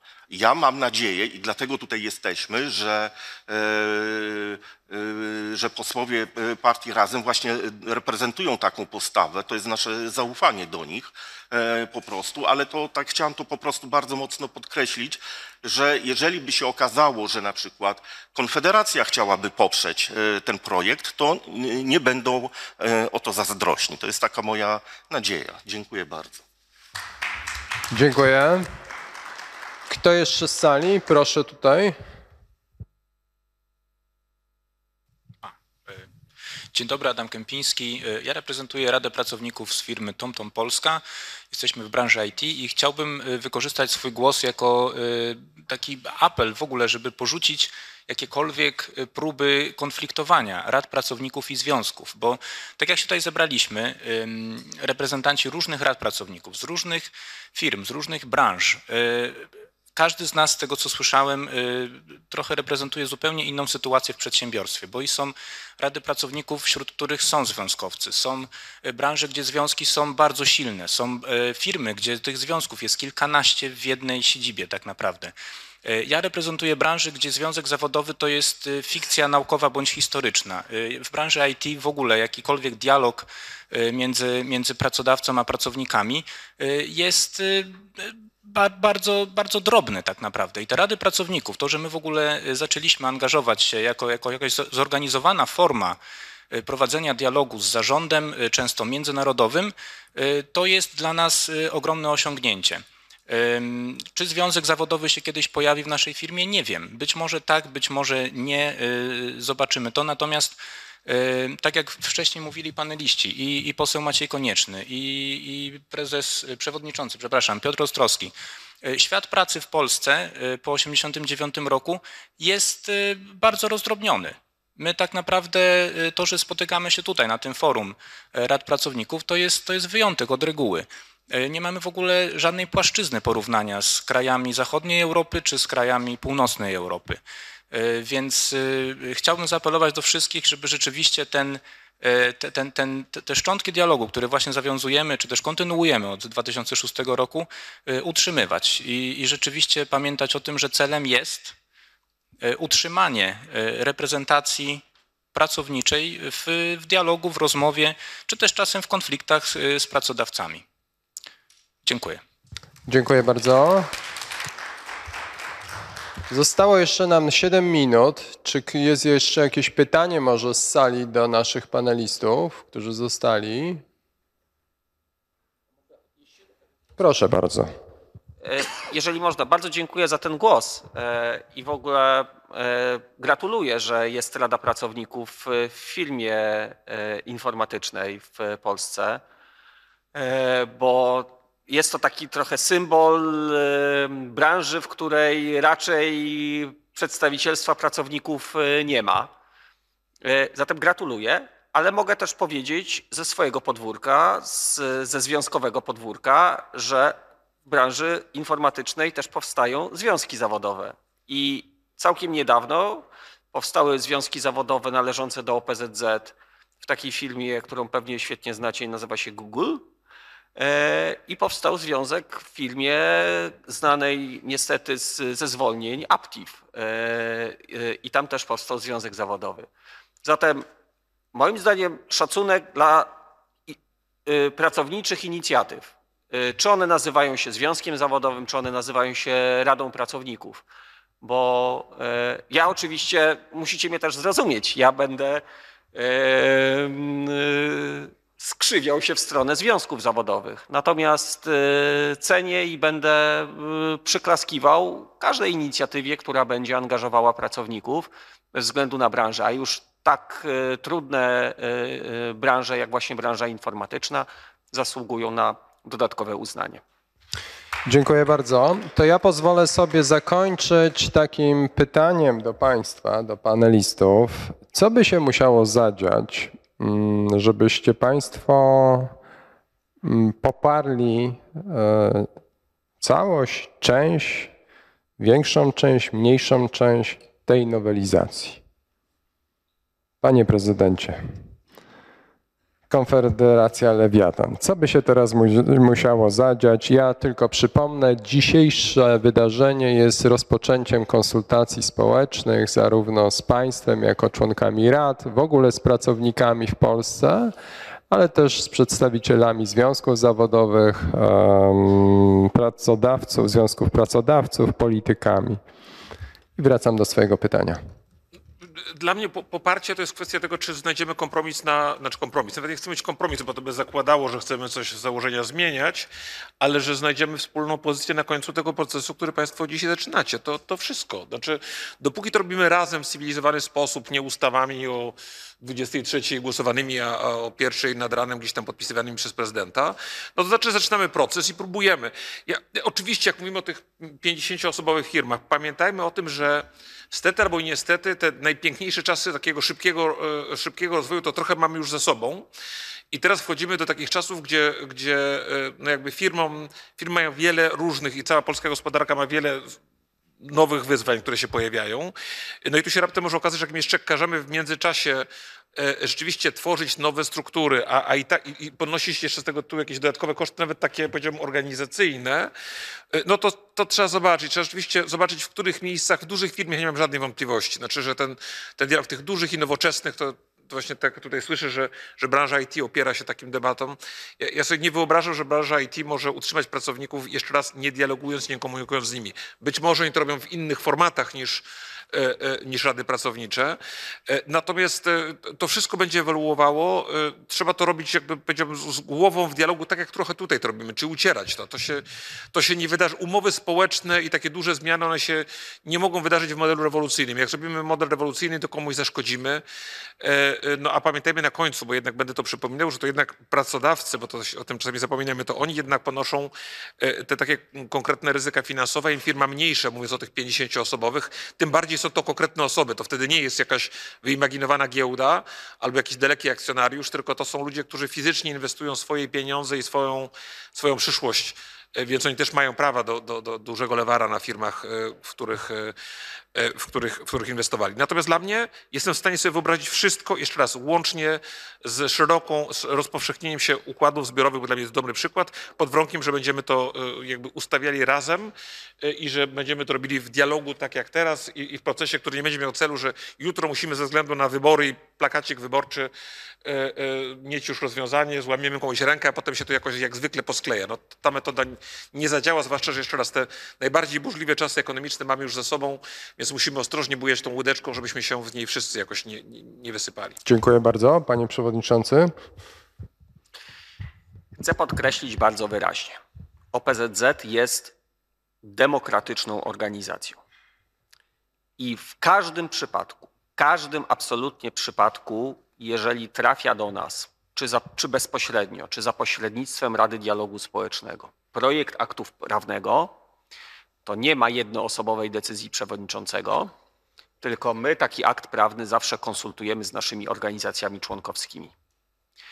Zatem, jeżeli taki akt będzie mu nadany proces legislacyjny i będzie do nas przekazany, my dokonamy wewnętrznej konsultacji z naszymi organizacjami członkowskimi e, i wydamy swoją opinię e, na ten temat. Podobnie jak robią to rady pracowników na poziomie przedsiębiorstw. Też wydają pewne, mm, pewne opinie na, na różne działania. I tyle. E, Jesteśmy wewnętrznie demokratyczną organizacją. Tu nie ma dyktatury, tu nie ma jednowładztwa e, przewodniczącego. Większość kwestii e, też ucieramy w ramach takiego naszego wewnętrznego dialogu społecznego, w ramach OPZZ, bo mamy różne punkty widzenia, różne branże, różne środowiska i my musimy to wszystko zawsze wypośrodkowywać. Zatem e, jak tylko taki e, projekt e, do nas trafi, będziemy go wewnętrznie konsultować i przekażemy swoją opinię. Dziękuję bardzo. Dziękuję panom za przyjęcie zaproszenia do panelu, państwu za głosy w dyskusji. Zapraszam teraz na przerwę. Ona trwa od 12.30 do 13.30. Proszę też o wyrozumiałość, jeśli chodzi o skromność. E, Nie mamy jakiegoś obfitego obiadu. Nie, nie finansują nas spółki Skarbu Państwa, nie finansują nas korporacje, nie finansują nas partie polityczne, e, więc ale jest coś do picia. Zapraszam za godzinę. Ha ha ha ha.